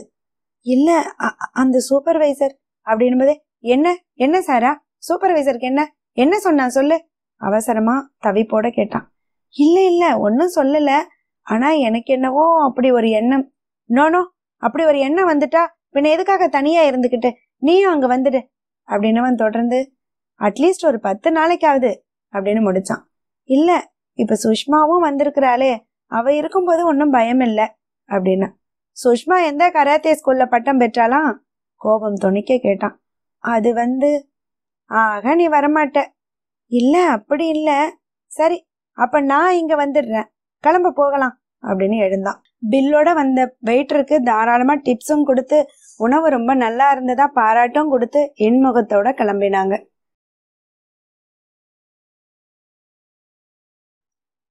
அத்தியாயம் ஐந்து. என்னதான் அஜய பிரிஞ்சு இருக்க சம்மதிச்சாலும் அவனை பார்க்காம இருக்கிறது இவ்வளவு கஷ்டமா இருக்கும்னு தெரியாம போயிடுச்சு சாராவுக்கு. வற்புறுத்தி அழைச்ச அகிலேஷ் கிட்ட மறுத்து அவன் இங்க வந்து தங்குறதா சொன்னதையும் ஏத்துக்காம அப்படி இப்படின்னு ரெண்டு நாட்கள் கழிஞ்சுது. பகல் முழுக்க அலுவலக வேலையிலையும் மாலை பொழுது தோழியோட அளவலாறுதலையும் கழிஞ்சாலும் இரவு படுக்க போற நேரமும் காலை தூங்கி எழற நேரமும் அவனை பார்க்காம அவனை தூக்கி கொஞ்சாம அவன்கிட்ட இருந்து முத்த செல்வங்களை வாங்காம அவளால இருக்கவே முடியல. ரெண்டு நாட்களை நெட்டி தள்ளினவ அன்னைக்கு சாயந்தரம் அவளை பார்க்க வந்த அகிலேஷ் கிட்ட தானும் அவனோட கூட வர்றதா சொல்லி ஆபீஸ்ல இருந்து நேரா அகிலேஷ் வீட்டுக்கு புறப்பட்டு போனான் காலையை அவளை அழைச்சுக்கிட்டு வந்து ஆபீஸ்ல விடுறவன் மாலையும் வந்தாலும் மதியம் ஒரு முறை அவளோட வந்து சாப்பிடுறத வழக்கமாக்கி இருந்தான் மகனோட ஒரு நாளைக்கு நாலு முறை பேசினாலும் அவனை தொட்டு கொஞ்சம் ஏக்கத்தை தீர்த்துக்கிறதுக்கு அவனோட புறப்பட்டு போனான் சாரா தனக்கு ஒரு பரீட்சை மாதிரி தான் அஜய பிரிஞ்சிருக்க நினைச்சா. ஆனா அந்த பரீட்சையில அவ தோற்றுத்தான் போனா. பெற்ற மனம் பித்தன்றது இதுதானோ? அகிலேஷ் வீடு இருந்த அடையாற நெருங்கினப்போ அவ மனசு படக்கு படக்குன்னு அடிச்சுக்கிச்சு. அவளோட மகன் ஓடி வந்து அவளை அணைச்சு கொடுக்க போற முத்தத்தை நினைச்சு நெஞ்சம் விம்முனுது. சாயந்தரம் பள்ளியில இருந்து புவனேஸ்வரி அம்மா டிரைவர் துணையோட அஜய அழைச்சிட்டு வந்துருவாங்க. கடந்த ரெண்டு நாட்களா சாரதா அம்மாவும் அகிலேஷ் வீட்ல தான் இருந்தாங்க. வீட்டு வாசல்ல கார் நெருங்கினப்போ வெளியிலேயே நின்று கையை பிசைஞ்சுக்கிட்டு இருந்த சாரதாம்மா தெரிஞ்சாங்க. நெருங்கி கேட்டதுல அஜய அழைக்க போன பெரியம்மா இன்னும் வந்து சேரலன்றது தெரிய அகிலேஷ் தன் தாயை தொடர்பு கொண்டான். அவங்களோட ஃபோன் எடுக்கப்படலைன்றது தெரிஞ்சு டிரைவரை தொடர்பு கொண்டான். முழு ரிங் போய் முடியிற தருவாயில காலை அட்டன் பண்ணினவர் தட்டு தடுமாறி பேசினார். டிரைவர் பிள்ளையையும் பெரியம்மாவையும் ஏத்திக்கிட்டு காரை ஓட்டி வந்துகிட்டு இருக்கும்போது வழியில ஏதோ டிராஃபிக் ஜாம்ல கொஞ்சம் மெதுவா நகர்ந்த நேரத்துல ஓடி வந்து காரோட முன் சீட்டு கதவை தட்டி திறக்க சொன்ன போலீஸ் ஏறி அமர்ந்து அவர் சொன்ன ரூட்ல காரை ஓட்ட வச்சு ஒரு ஒதுக்குப்புறமான சாலையில நிறுத்த சொல்லி அம்மா முகத்திலையும் டிரைவர் முகத்திலையும் ஏதோ ஸ்ப்ரேவை அடிச்சு மயங்க வச்சு பிள்ளைய தூக்கிக்கிட்டு ஓடினது அவருக்கு கலங்கலா தெரிஞ்சுதான். இவ்வளவு நேரமும் மயக்கத்துல இருந்து இப்ப லேசா தெளிஞ்சிருந்ததுனால வந்த காலை அட்டன் பண்ணினாராம். அம்மாவும் பின் சீட்ல மயங்கி கிடக்குறாங்களாம். அகிலேஷ் நெற்றி நரம்பு துடிக்கிறத பார்த்த சாரா என்னன்னு விசாரிக்க அவன் சொன்னதை கேட்டு அஜய்! அப்படின்னு கிரீச்சிட்டு மயக்கம் போட்டு சாஞ்சா. கடலோட ஆழத்தை தெரிஞ்சுக்க துடிக்கிறவ மாதிரி நீருக்கு அடியில அடியில அடியில அமிழ்ந்து போய்கிட்டு இருந்தவள மேல இருந்து மீன் ஒண்ணு கொத்தி கொத்தி மேல் நோக்கி இழுத்துது. மேல போறதா கீழே போறதான்னு தெரியாம விழிச்சுக்கிட்டு இருந்தவள பலார்னு கன்னத்துல யாரோ அரைஞ்சாங்க. வலி இல்லையே வலி தெரியுது. யாருன்னு பார்க்க மேல் நோக்கி சரசரன்னு உயர்ந்தா. தண்ணிக்குள்ள இருந்தப்போ முட்டாத மூச்சு இப்ப முட்டுனுது. வேகமா மூச்செடுத்து கண்களை திறந்தா. அவ படுத்திருந்த படுக்கைய ஒட்டி இடது பக்கத்துல ஒருத்தர் கையில ஸ்டெத்து இருந்ததுனால டாக்டரா இருக்கணும். அவர்கிட்ட சீருடை அணிஞ்ச நர்ஸ் ஏ என்னாச்சு?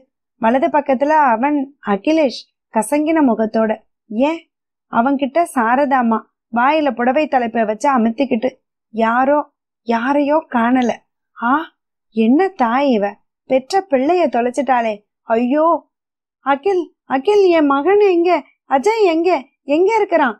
சப்தமா கத்திக்கிட்டே அங்க எங்கேயும் பரபரன்னு கண்களை திருப்பி தேடினவ கண்ணு கெட்டின தூரம் வரைக்கும் காணலன்னதும் படக்குன்னு எழுந்து ஓட ஆயத்தமானா. பக்கத்துல நின்னுக்கிட்டு இருந்த டாக்டர் இருங்க மேடம் ஓவர் ரியாக்ட் பண்ணினீங்கன்னா இன்ஜெக்ஷன் போட வேண்டியிருக்கும். அப்புறம் உங்க சுய நினைவு இல்லாம மகனையும் தேட முடியாம போயிடும். கொஞ்சம் பொறுமையா இருங்க அப்படின்னார். ஐயோ உங்களுக்கு புரியலையா? அவனுக்கு வெறும் அஞ்சு வயசு தான் ஆகுது டாக்டர். அவன் அகில் அந்த சூப்பர்வைசர் நான் சொன்னேனே அவன் தானே. உடனே அவனை பிடிங்க. போலீஸ் ஐயோ போலீஸுக்கு போனா குழந்தைய ஐயோ எனக்கு ஒன்றும் புரியலையே அகில்.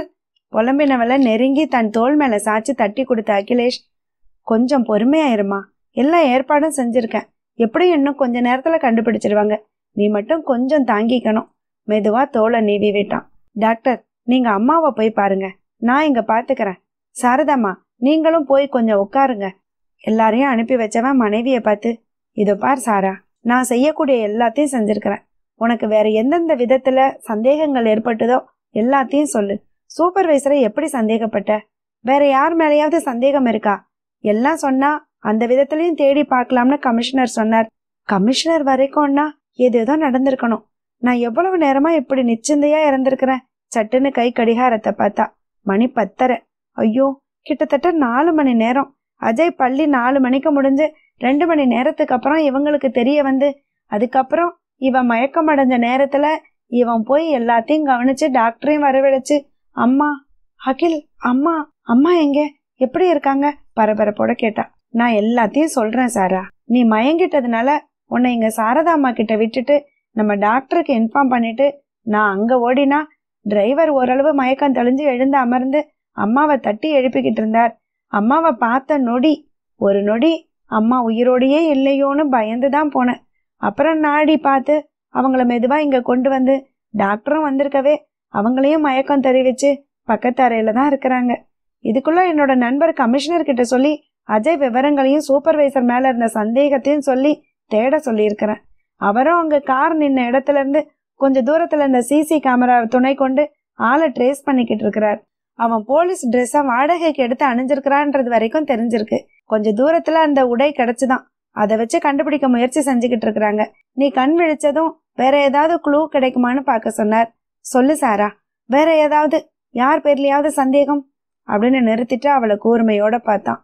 வேற யாரும் இல்ல அகில். எனக்கு அந்த சூப்பர்வைசர் மேலதான் அன்னைக்கு வேலையை ராஜினாமா செஞ்சுட்டு போனதும் அவன் முணுமுணுத்துக்கிட்டே போனான். ஞாபகம் இருக்கா? அது என் காதல லேசா விழுந்தது. புது புருஷனை கொண்டு வரியா? உன் பிள்ளைய மறந்துட்ட இல்ல குடும்பமா இருக்க போறியான்னு பாரு. காட்டுறேன் நான் யாருன்னு. அப்படின்னு இப்படிதான் எனக்கு விழுந்த மாதிரி இருந்தது. அதனாலதான் அஜய உங்க கூட விட்டேன். ஆனா இன்னும் கொஞ்சம் ஜாக்கிரதையா இருந்திருக்கணுமோ? கொஞ்சம் அம்மா கிட்டையும் சொல்லி எச்சரிக்கை பண்ணியிருக்கணுமோ? ஐயோ அஜய் நீ எங்கடா இருக்க? சாப்பிட்டியா? பசிக்குதா? எப்படிடா இருக்க? கேவலோட விம்மி விம்மி அழ ஆரம்பிச்சா. தன்னையும் அடக்க முடியாம கண்கள்ல கண்ணீர் வழிஞ்சோட தன் மனைவியை சேர்த்து அணைச்சிக்கிட்ட அகிலேஷ் அதுக்கப்புறம் அவளை தனியா விடாம தன்னோடையே அழைச்சிக்கிட்டு கமிஷனர் ஆபீஸ்க்கு கிளம்பினான். விவரம் தெரிஞ்சு ஓடி வந்த சூர்யாவும் சுஷ்மாவும் ஏற்கனவே கமிஷனர் கிட்ட நேர்ல போயிருந்தாங்க. சூர்யாவோட சித்தப்பா தான் கமிஷனர். சரியா கமிஷனர் ஆபீஸ்க்குள்ள ரெண்டு பேரும் நுழைஞ்சு கமிஷனர் கிட்ட அங்கிருந்த சூர்யா சுஷ்மிதாவால அறிமுகப்படுத்தப்பட்டு அமரும்போது சாராவோட மொபைல் அழைச்சது. புது நம்பரா இருக்கவே அகிலேஷை பார்த்தா. சைகையால ஆன் பண்ணி ஸ்பீக்கர்ல போட சொன்னான் அப்படியே செஞ்சா. ஹலோ ஹலோ யாரு? சாரா மேடமா? ஆமா எனக்கு உங்களை தெரியும் உங்களுக்கு என்ன தெரியும். ஆனா இப்ப எனக்கு உங்க பையனையும் தெரியும். என்னம்மா பேசுறான் பயப்புள்ள செம்ம ஷார்ப்பு உங்களை மாதிரி தானே புத்திசாலியா இருப்பான். பரவாயில்ல நல்லா தான் வளர்த்துருக்கீங்க. சரி அத்தை விடுங்க. இப்போ என்ன சொல்றீங்க? உங்களுக்கு உங்க புள்ள வேணுமா? இல்ல நானே வச்சுக்கிட்டுமா? நாளைக்கு நான் வெளியூருக்கு போறேன். கை செலவுக்கு பணம் இல்லை. காசு கொண்டாந்தா இவனை இங்கேயே விட்டுட்டு பணத்தை எடுத்துக்கின்னு போவேன். இல்லைன்னா இவனை கூட்டிட்டு போய் எங்கன்னா வித்துட்டு போயிடுவேன். என்ன சொல்றீங்க? நீங்க போலீஸுக்கே போனாலும் என்னை பிடிக்க முடியாது. பிடிச்சாலும் உங்க மாமனை என்னோட சேர்த்து கட்டிக்கின்னு கடல்ல குதிச்சிடுவேன். என்ன சொல்றீங்க? ஆ இப்ப வைக்கிறேன். வேற ஒரு நம்பர்ல இருந்து திரும்ப கூப்பிடுறேன். இத்த ட்ரேஸ் பண்ண முடியாது. ஓகே பட்டுன்னு கால் துண்டிக்கப்பட்டது. தலை சுத்தனது சாராவுக்கு. அவன் பேசிக்கிட்டு இருக்கும்போதே இடையில ரெண்டு ஒரு முறை பேச முயன்றும். அவன் அதுக்கு இடம் கொடுக்கல. அஜய் எப்படி இருக்கிறான்னு தெரியலையே. தவிப்போட அகிலேஷா பார்த்தா. மணி பதினொன்னு முப்பது. குழந்தை எதுவும் சாப்பிட்டானா? தூங்குறானா? பயம் இல்லாம இருப்பானா? ஒரு தாய்க்கு இப்படி ஒரு நிலை வரக்கூடாது. சூர்யா பரபரப்போட கமிஷனரை பார்த்து அங்கிள் இவ்வளவு நேரம் பேசியிருக்கிறானே. இதை வச்சு கண்டுபிடிச்சிடலாமா? அப்படின்னா இது போதும் சூர்யா. அவனே வந்து மாட்டிட்டான். முன்ன மாதிரியெல்லாம் இல்லை. இந்நேரம் நம்ம கண்ட்ரோல் ரூம்ல அவன் இருப்பிடம் பத்தி எல்லாம் தெரிஞ்சிருக்கோம். கொஞ்சம் இரு அப்படின்னு சொல்லிக்கிட்டு இருக்கும்போதே அவரோட மொபைலுக்கு கால் வந்தது. எடுத்து பேசினவர் மலர்ந்த முகத்தோட இவங்களுக்கு விவரம் சொன்னார். இப்போ அவனோட லொக்கேஷன் மாதவரம்னு காட்டுறது. அடுத்த பத்தாவது நிமிஷம் வேற நம்பர்ல இருந்து கால் வந்தது. அவன் தான் பேசினான். ஹலோ மேடம் எனக்கு டைமே இல்லை. இந்நேரத்துக்கு நான் இருக்கிற இடம் தெரிஞ்சிருக்கோம். இருந்தாலும் எனக்கு ஒன்றும் கவலை இல்லை. ஏன்னா நீங்க உங்க புருஷன் என்ன பண்ணாலும் புள்ள உங்களுக்கு கிடைக்காது. புரியுதா? இப்ப நான் சொல்றத கவனமா கேளுங்க. கையில ஒரு ஒன் சி எடுத்துக்கங்க. அவ்வளவு கையில இருக்காதுன்னு சொல்லாதீங்க. நாளைக்கு சம்பளம் போட பணம் கையில இருக்கும்னு எனக்கும் தெரியும். அத்தை எடுத்துக்கின்னு நீங்க நீங்க மட்டும் மாதவரம் பஸ் ஸ்டாண்டுக்கு வந்துருங்க. நீங்க கார்ல வரக்கூடாது. அங்க இருந்து ஆட்டோவில் ஒத்தையா தான் வரணும். இன்னும் ஒரு மணி நேரத்துல நான் அங்க இருப்பேன். புள்ளைய இட்டாந்துடுறேன் சோறு துண்ண வழி இல்லை. அழுதுகினே இருக்கான். பசி போல இருக்கு. எங்கன்னா துன்றதுக்கு பண்ணு வாங்கி கொடுத்து அழைச்சாரன். பண்ணு வாங்க மட்டும்தான் காசு இருக்கு. சரி வந்துருங்க. பட்டுன்னு கட் பண்ணினான். ஐயோ குழந்தைய சாப்பிடாம வச்சிருக்கானே. பசி தாங்க மாட்டானே குழந்தை. புலம்பினா தாய். அவளை விட்டு மற்றவங்க அகிலேஷ் சூர்யா சுஷ்மா கமிஷனர் எல்லாரும் திட்டம் தீட்டினாங்க. சாரா ஆட்டோவில் ஒரு பெட்டி மட்டும் எடுத்துக்கிட்டு போறது. அவன் பக்கத்தில் வரும்போது பிள்ளைய அனுப்ப சொல்லிட்டு பெட்டியை கொடுத்துட்டு பிள்ளைய கூட்டிக்கிட்டு தூரம் வந்ததுக்கப்புறம் ஒளிஞ்சிருக்கிற காவலர்கள் அவனை அமைக்க பிடிக்கிறதுன்னு பக்காவா திட்டம் திட்டினாங்க. ஆனா அதுல எந்த உடன்பாடும் இல்லாம அரைக்குறையா கேட்டுக்கிட்டு இருந்த சாராவும் அவனை பிடிக்க கூட வேண்டாம். பணத்தை கொடுத்து அஜய மீட்டுடுவோம் ப்ளீஸ் அப்படின்னு கெஞ்சினா. அவளை சமாதானப்படுத்தி ஒத்துக்க வச்சு ஒரு ஆட்டோவை காவலர் ஒருத்தரே ஓட்டிட்டு வர செஞ்சு மாதவரம் பஸ் ஸ்டாண்டுல ஒரு மணி நேரத்துல கொண்டு போய் சேர்த்தப்போ அவன் அங்க இல்லை. அத்தியாயம் ஆறு. சாரா உடல்ல இருந்த ஒவ்வொரு அணுவும் மகன் அஜய பார்க்க தொடி தொடிச்சுக்கிட்டு இருந்தது. ஒரு கணத்தையும் வீணாக்க விரும்பாம வேக வேகமா ஆட்டோவை விரட்ட வச்சு அவன் சொன்ன இடத்துக்கு வந்தாச்சு. சரியா ஐம்பது நிமிஷத்துலயே வந்தோம். அங்க சந்தேகிக்கும்படி யாரையும் காணல. ஆட்டோவை பின்தொடர்ந்து கொஞ்சம் இடைவெளி விட்டு அகிலேஷ் சூர்யா வந்துகிட்டு இருந்தாங்க. அது எதையும் கவனிக்கிற நிலையில அவ இல்லை. அந்த நள்ளிரவு நேரத்துக்கே உண்டான அமைதி அந்த பஸ் ஸ்டாண்டுல குடிகொண்டிருந்தது. பகலெல்லாம் ஓடி களைச்சிருந்த பேருந்துகள் இளைப்பாறிக்கிட்டு இருந்தது. பிளாட்ஃபார்ம்கள்ல அங்கங்க சில பிச்சைக்காரர்கள் படுத்துக்கிட்டு இருக்கிறது தெரிஞ்சுது. ஒன்னு ரெண்டு விளக்குகள் எரிஞ்சு ஒளியை தந்துகிட்டு இருந்தது. ஒரே ஒரு டீ கடை மட்டும் அழுது வடிஞ்சுக்கிட்டு இருந்தது. டீ மாஸ்டர் தவிர ஒரு பொடியன் காலி தம்ளர்களை கழுவி அடுக்கிக்கிட்டு இருந்தான். ஆட்டோவை ஒட்டி நிக்காம பஸ் ஸ்டாண்டுக்கு வெளியிலேயே தன் காரை நிறுத்தி பார்த்துக்கிட்டு இருந்தாங்க அகிலேஷும் சூர்யாவும். ஆட்டோவிலேருந்து கண் சலிக்க தேடி களைச்சவ தன் கையில் இருந்த மொபைலை எடுத்து கடைசியாக வந்த நம்பரை டயல் பண்ணினான் ஆனால் அந்த எண் உபயோகத்தில் இல்லைன்ற செய்தி வந்தது. ஆட்டோ ஓட்டிகிட்டு வந்திருந்த காவலரை குழப்பத்தோட பார்த்தா. நீங்கள் ஆட்டோவிலே இருங்க மேடம். நான் போய் டீ கடையில் விசாரிச்சுக்கிட்டு வரேன் அப்படின்னு அவர் இறங்க போனார். வேண்டாம் வேண்டாம். நீங்கள் இறங்காதீங்க. உங்களை அடையாளம் கண்டு அஜயை அழைச்சுக்கிட்டு அவன் வேற எங்கேயாவது போயிட போகிறான் நம்ம கமிஷனர்கிட்ட கேட்கலாம் அப்படின்னபடி அகிலேஷுக்கு கால் பண்ண நினச்சப்போ அகிலேஷே அழைச்சான். சாரா ஆட்டோவை விட்டு இறங்க வேண்டாம். உள்ளேயே அமர்ந்துரு. சாரையும் உள்ளேயே இருக்க சொல். அவங்கிட்டேருந்து கால் எதுவும் வருதான்னு பார்ப்போம் மற்றபடி பஸ் ஸ்டாண்டு காலியாக இருக்கே. இங்கே மறைவுக்கும் இடம் இல்லை அப்படின்னு அவன் பேசிக்கிட்டு இருக்கும்போதே ஸ்க்ரீனில் வேறொரு கால் வர்றது தெரிஞ்சதும் அகிலேஷ் காலை கட் பண்ணிவிட்டு அதை அட்டன் பண்ணினா சாரா.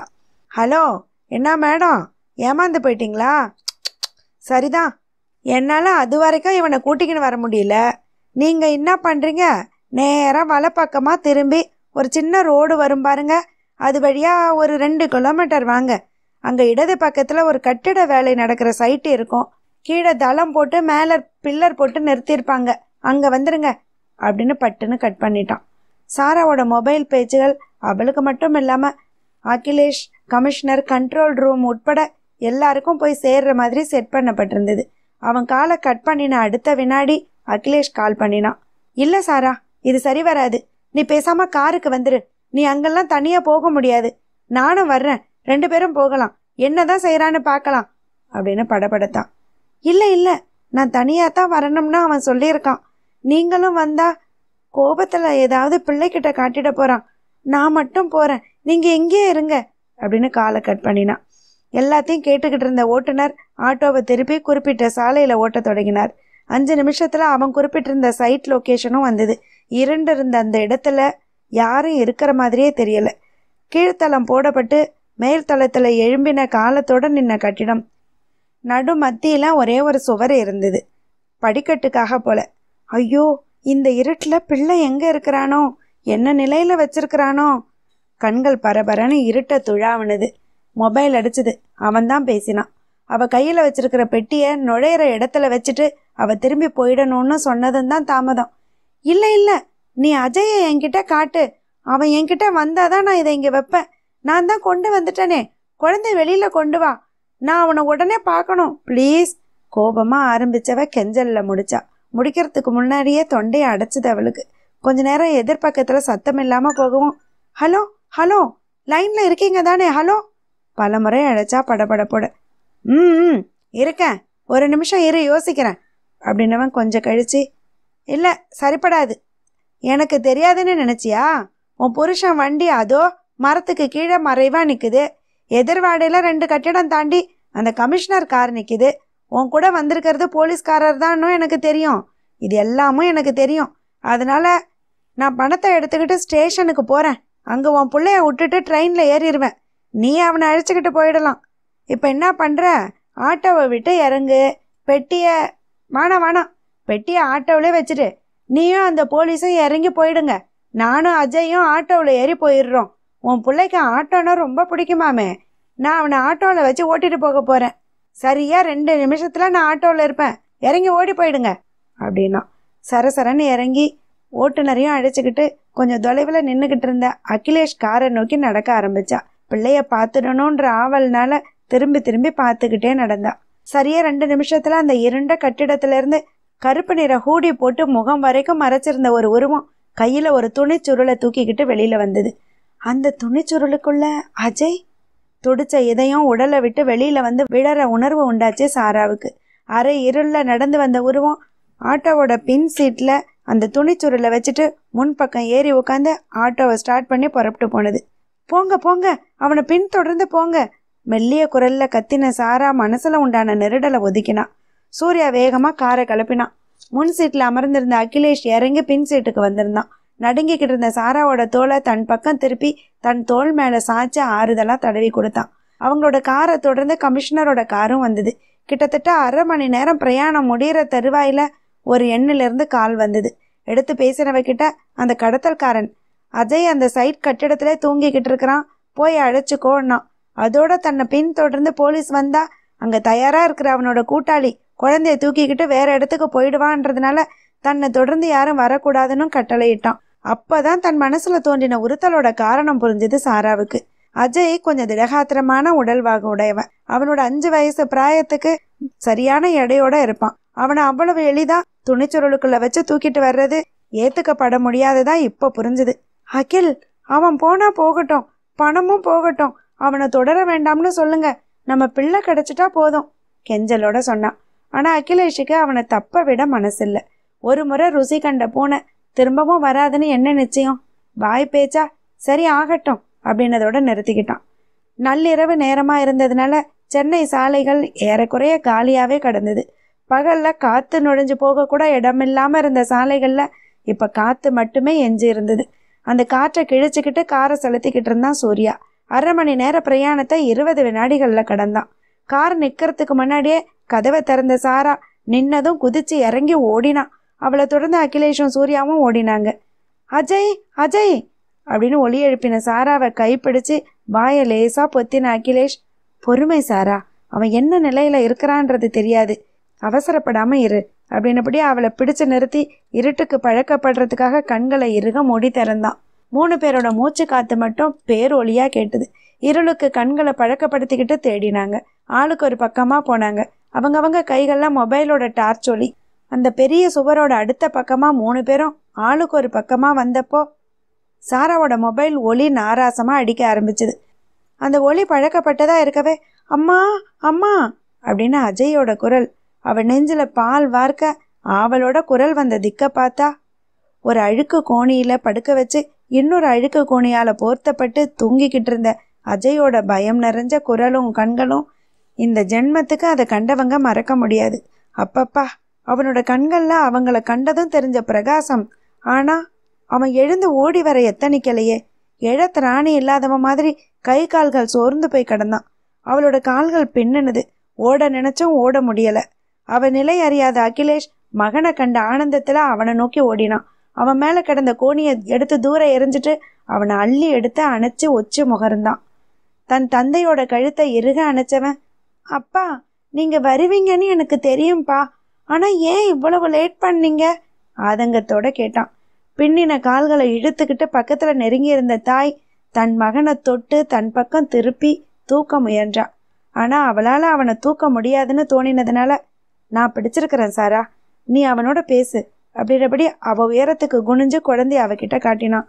தன் நிலையை புரிஞ்சுக்கிட்டவனுக்கு மனசுக்குள்ள நன்றி செலுத்திக்கிட்டே தன் அருமை மகனை தொட்டு தடவி ஒவ்வொரு இடமா உணர முற்பட்டா. சூர்யா அவ கையில அடிச்சுக்கிட்டு இருந்த மொபைலை வாங்கி அணைச்சான். அஜய் பையா அப்படின்னபடி அவனோட கன்னத்தை தொட்டு தடவி கொடுத்தான்.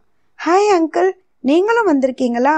அப்படின்னா. பிள்ளையோட ஒவ்வொரு அங்கமா தொட்டு சரி பார்த்துக்கிட்டு இருந்தவ கால்களை தடவும் போது ஆ அம்மா காலை தொடாதீங்க வலிக்குது எரியுது அப்படின்ற மகனோட குரல்ல தன்னால் அதுக்கு மேலே நிற்க முடியாதுன்னு உணர்ந்த சாரா தன் கணவனோட தோல் மேலே சாஞ்சு தொய்ஞ்சு போனான் அத்தியாயம் ஏழு. இதமான ஏசியோட குளிர் அந்த அறை முழுக்க பரவி இருந்தது. அகிலேஷோட படுக்கை அறையோட கதவுகளை திறந்துக்கிட்டு உள்ள நுழைஞ்ச சாராவோட கைகள்ல இருந்த பால் தம்ளரை கண்ட அகிலேஷ் விஷம புன்னகையோட யாருக்கு பால்? எனக்கும் உனக்குமா? அப்படின்னு கண்ணடிச்சு சிரிச்சான். செல்ல கண்டிப்பு பார்வையோட அவனை முறைச்சிட்டு அஜய்க்காக மிதமான சூட்ல பால் கலந்து கொடுத்தாங்க சாரதா அம்மா. அப்படின்னபடி பதில் சொல்லிட்டு அஜய பார்த்தா. அவனோட கண்கள் மூடி இருந்ததும் சீரான மூச்சும் அவன் நல்ல உறக்கத்துல ஆழ்ந்திருக்கிறத காட்டுனது. ஏமாற்றத்தோட கணவனை பார்த்தா. அவன் அம்மா வேணும்னு தான் சொன்னான். நான் தான் தர முடியாதுன்னு சொல்லி தூங்க வச்சிட்டேன் அப்படின்னா கேலியா. இந்த பால் எனக்கும் உனக்கும் தான். இல்ல எனக்கு வேண்டாம். நீங்க குடிங்க. எனக்கு மட்டும்னா வேண்டாம். பாதி நீ குடிக்கிறதா இருந்தா ஓகே. பிடிவாத குரல்ல அகிலேஷ் சொன்னான் இந்த நேரம் எவ்வளவு இனிமையா இருக்கு. இப்படி ஒரு ஆஸ்வாசமான சமயம் வரும்னு முந்தின இரவு நினைக்கவே முடியாம இருந்ததே. என்னெல்லாம் நடந்தது? ஒரு கணம் அவளோட மனசு பின்னோக்கி ஓடுனது. மகன் காலில் வலியும் எரிச்சலும் அதிகமா இருக்குன்னு சொன்னதும் தான் தன்னுணர்வு இழந்து மயங்கி அகிலேஷ் மேல சாஞ்சதும் கண் விழிச்சு பார்த்தப்போ அகிலேஷ் வீட்டில் இருந்ததும் நினைவில் ஆடுனது. அவ மயக்கம் அடைஞ்சிருந்த இடைப்பட்ட நேரத்துல மகன் கிட்ட எல்லாத்தையும் தந்தை கேட்டு தெரிஞ்சுக்கிட்டு இருந்தான். அந்த கடத்தல்கார ராட்சதன் பிள்ளைய நடத்தியே அழைச்சிக்கிட்டு போயிருக்கிறான். பிள்ளைகிட்ட தான் அவனை அவன் அம்மா கிட்ட அழைச்சிட்டு போறதா சொல்லியிருக்கிறான். வழியில அவனுக்கு பிடிச்ச ஐஸ்கிரீம் வாங்கி தர்றதா வேற சொல்லியிருக்கிறான். ஆனா இதோ இதோன்னு ரொம்ப தூரம் வரைக்கும் அழைச்சிட்டு போயிருக்கிறான். இடையில ஒரு பேருந்துல ஏத்தியும் இறக்கியிருக்கான். அப்பதான் தனக்கு ஆட்டோவில் போக விருப்பம்னு பிள்ளையும் சொல்லியிருக்கிறான். குறிப்பிட்ட நேரம் போனதும் அஜய்க்கு பசி எடுத்து தன் அம்மாவை கேட்டிருக்கிறான். அந்த நேரத்துல ஏதோ ஒரு டீ கடையில பன் வாங்கி கொடுத்து சரி கட்டி திரும்பவும் நடத்தி அழைச்சிட்டு போயிருக்கிறான். ரொம்ப தூரம் நடந்ததுனால சிறுவனுக்கு ஷூக்குள்ள இருந்த பாதங்கள்ல கொப்பளங்கள் தோன்றி எரிச்சலை உண்டு பண்ணியிருக்கு. அதுக்கு மேல நடக்கவே முடியாதுன்னு அவன் சொல்லிடவே வேற வழி இல்லாம குறிப்பிட்ட சைட் கட்டிடத்துல கிடந்த கோணி மேல படுக்க வச்சுட்டு போயிருக்கிறான். அதிக களைப்போட பசியும் சேர்ந்துக்கவே சிறுவனும் தன்னை மறந்து தூங்கி இருக்கிறான் அந்த நேரத்துல தான் இவங்க மூணு பேரும் அங்க போய் சேர்ந்திருக்கிறாங்க. இதுக்கிடையில எல்லா இணைப்பு ரயில்வே நிலையங்கள்லையும் ஆட்கள் தேடினதுல சந்தேகப்படும்படி கமிஷனர் அறிவுரைப்படி பெரிய சைஸ் சிவப்பு கலர் பெட்டியோட பணம் எடுத்துட்டு போயிருந்ததுனால அதை வச்சு ஈஸியா அவனையும் மடக்கி பிடிச்சிருக்கிறாங்க. அவன் அந்த சூப்பர்வைசர் முதல்ல படிச்சு பட்டம் வாங்கவே இல்லையாம். பிளஸ் டூவே தோல்வி அடைஞ்சு ஏதோ தகிடு தத்தம் செஞ்சு டிகிரி சர்டிபிகேட் வாங்கி அது மூலமா வேலைக்கு சேர்ந்திருக்கிறான். எல்லாத்தையும் அவன் வாய் வழியாவே வாக்கு மூலமா வாங்கிக்கிட்டு தக்க தண்டனை விதிக்கப்படுறதுக்காக சிறையில் அடைக்கப்பட்டிருக்கிறான். அவன்கிட்ட இருந்து பறிமுதல் செய்யப்பட்ட ஒரு கோடி ரூபாய் பணமும் பத்திரமா அகிலேஷ் கிட்ட ஒப்படைக்கப்பட்டது. ஒரு சினிமா போல இவ்வளவும் நடந்து முடிஞ்சதுக்கு அப்புறம் எல்லாரும் நிம்மதியா மூச்சு விட்டாங்க. அது வரைக்கும் கூடவே இருந்து எல்லாத்துலயும் உதவியா இருந்த சூர்யாவை கட்டி அணைச்சு நன்றி தெரிவிச்ச அகிலேஷ் உடனே அவனை விடுதலை செஞ்சு நான் விட்டுட்டேன்ப்பா. ரொம்ப நேரம் கட்டிக்கிட்டே இருந்தா உடமையால் வேற முறைக்கிறாங்க. அப்படின்னபடி குறும்பா சுஷ்மாவை பார்க்கவும் அவ நாணி நின்னு கேள்வியா சூர்யாவை ஏறிட்டதும் அந்த நேரத்துல அவங்களோட அந்நியோன்யம் பொறிப்பட்டதும் இனிமையிலையும் இனிமை சேர்க்கறதா தோன்றினது சாராவுக்கு. அன்னைக்கு சாரா அகிலேஷ் வீட்லயே தங்க ஏற்பாடு ஆனதும் சுஷ்மாவை கொண்டு விடுறதா சொல்லி சூர்யா அழைச்சிக்கிட்டு போனதுக்கு அப்புறம் இவங்க குடும்பமா அமர்ந்து பேசிக்கிட்டு இருக்கும்போது தன் பேரனோட கால்களை தன் மடி மேல எடுத்து வச்சுக்கிட்டு ஆயின்மெண்ட் தடவிக்கிட்டு இருந்த புவனேஸ்வரி அம்மா முணுமுணுத்ததை நினைச்சா இன்னும் சிரிப்பா வந்தது அவளுக்கு. ஹம் இப்படி ஒரு செல்ல குழந்தை இல்லையேன்னு ஏங்கினது போக என் செல்லம் எப்படியாவது ஒரு தூசு தும்பு படாம கொடுத்துட்டு இறைவா அப்படின்னு வேண்டிக்கும் போது என் மனசு எப்படி தவிச்சது தெரியுமா? பிறவி குருடனுக்கு கண் பார்வையை கொடுத்த ஆண்டவன் அந்த கண்களை எனக்கு தானமா கொடுன்னு கேக்குற மாதிரி என் உயிரே போய் வந்த மாதிரி இருந்தது. ஆனா எப்பவுமே இறைவன் கொடுக்கறத கேட்க மாட்டார். நாம தான் நம்மத பொறுப்பா பாத்துக்கணும். பாத்துக்க தவறிட்டா அதுக்கு நானா பொறுப்புன்னு கேக்குற மாதிரி இருந்தது. என்னமோ அம்மா இனிமேலாவது ரெண்டு பேரும் ஒரு இடத்துல இருந்து தனிமரம் தோப்பாகாதுன்ற மாதிரி நம்ம அஜய் குட்டிக்கு கூட விளையாடுறதுக்கு ஒரு பாப்பாவை கொடுங்க ஆண்டவான்னு வேண்டிக்கோங்க அப்படின்னு ஊடா சொன்னதும் புரியாத பிள்ளையும் பாட்டி எனக்கும் ஒரு பாப்பா வேணும்னா கடவுள் சாமி கிட்ட கேட்டா கொடுப்பாரா பாட்டி? இல்ல அம்மா அப்பா கேட்டாதான் கொடுப்பாரா? அப்படின்னு அவன் கணக்குக்கு ஒரு குண்டை போட்டதும் இதை கேட்ட வாய் விட்டு சிரிச்சு பக்கத்துல நின்னவளோட கரத்தை பிடிச்சு அமைக்கின அகிலேஷோட செய்கையும் தன்னையும் அறியாம அவளோட கண்ணங்களை சிவக்க வச்சுது. இன்னைக்கு முழு நாளும் காவல் நிலையம் கமிஷனர் அலுவலகம்னு ரெண்டு பேரும் சேர்ந்தே அலைய நேர்ந்தாலும் முடிஞ்ச வரைக்கும் அவளை இழுத்தடிக்காம காரிலேயே உட்கார வச்சுட்டு அவன் போய் எல்லா வேலைகளையும் முடிச்சு அவளோட கையொப்பமோ கருத்தோ தேவைப்பட்ட நேரத்துல அவளை அழைச்சிட்டு போய் செய்ய வச்சான். வீட்டுக்கு திரும்பும்போது ஏறக்குறைய ராத்திரியே ஆயிடுச்சு. அவங்க வந்ததும் அவங்கள நல்ல விதமா சாப்பிட வச்சாங்க புவனேஸ்வரி அம்மா. நேத்து தூங்கவே இல்லைன்றதுனால பிள்ளை இன்னைக்கு பகல்ல நல்லா தூங்கிட்டான். நீங்க ரெண்டு பேரும் போய் ரெஸ்ட் எடுங்க அப்படின்னு அனுப்பி வச்சாங்க. இன்னைக்கும் இவங்க தங்கும்படி நேர்ந்ததுனால நாளைக்கு வீட்டுக்கு போகணும்னு நினைச்சுக்கிட்டே மகனுக்காக சாரதாமா கொடுத்த பாலை எடுத்துக்கிட்டு மேல அகிலேஷ் அறைக்குள்ள வந்தா அவன் தூங்கிட்டு இருந்தான். ட்ரிங் ட்ரிங் இன்டர்காமோட மெல்லிய ஒலி அவளோட நினைவுகளை மீட்டுட்டு வந்தது. பட்டுன்னு பக்கத்துல இருந்த ஒலி வாங்கி எடுத்தான் அகிலேஷ். பிள்ளை விழிச்சிடக்கூடாதேன்ற பரபரப்புல அவன் மேல லேசா ஒரு கையை வச்சுக்கிட்டே ஹலோ எஸ் சரி ஓகே அப்படின்னு ரிசீவரை வச்சான். கேள்வியா பார்த்தவகிட்ட அம்மா தான் அஜய்க்கு காலில் புண்ணு ஆடுறதுக்காக உள்ளுக்கும் மருந்து கொடுத்துருக்காங்களாம். அதனால நல்லா தூங்குவானாம். நாம பேசணும்னா அவன் தூக்கத்தை கலைக்காம அம்மாவோட அறைக்கு அவனை தூக்கிக்கிட்டு வந்து போட சொல்றாங்க அப்படின்னபடி அவளை குறும்போட பார்த்தான் ச்சே என்ன இது?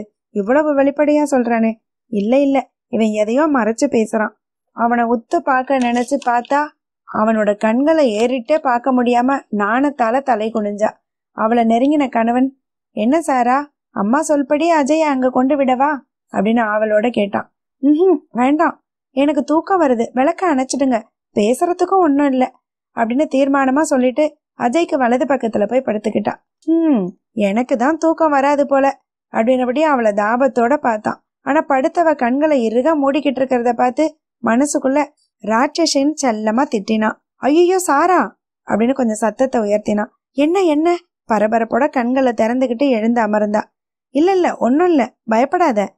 இந்த பால் வீணா போயிடுமே இதை கொஞ்சம் குடிச்சிடுமா? அப்படின்னு கொஞ்சினான் ஆ இவ்வளவுதானா? நான் வேற நீங்களே குடிங்க அப்படின்னா. முதல்ல சொன்னதை பிடிச்சுக்கிட்டு என்ன நீ வேற?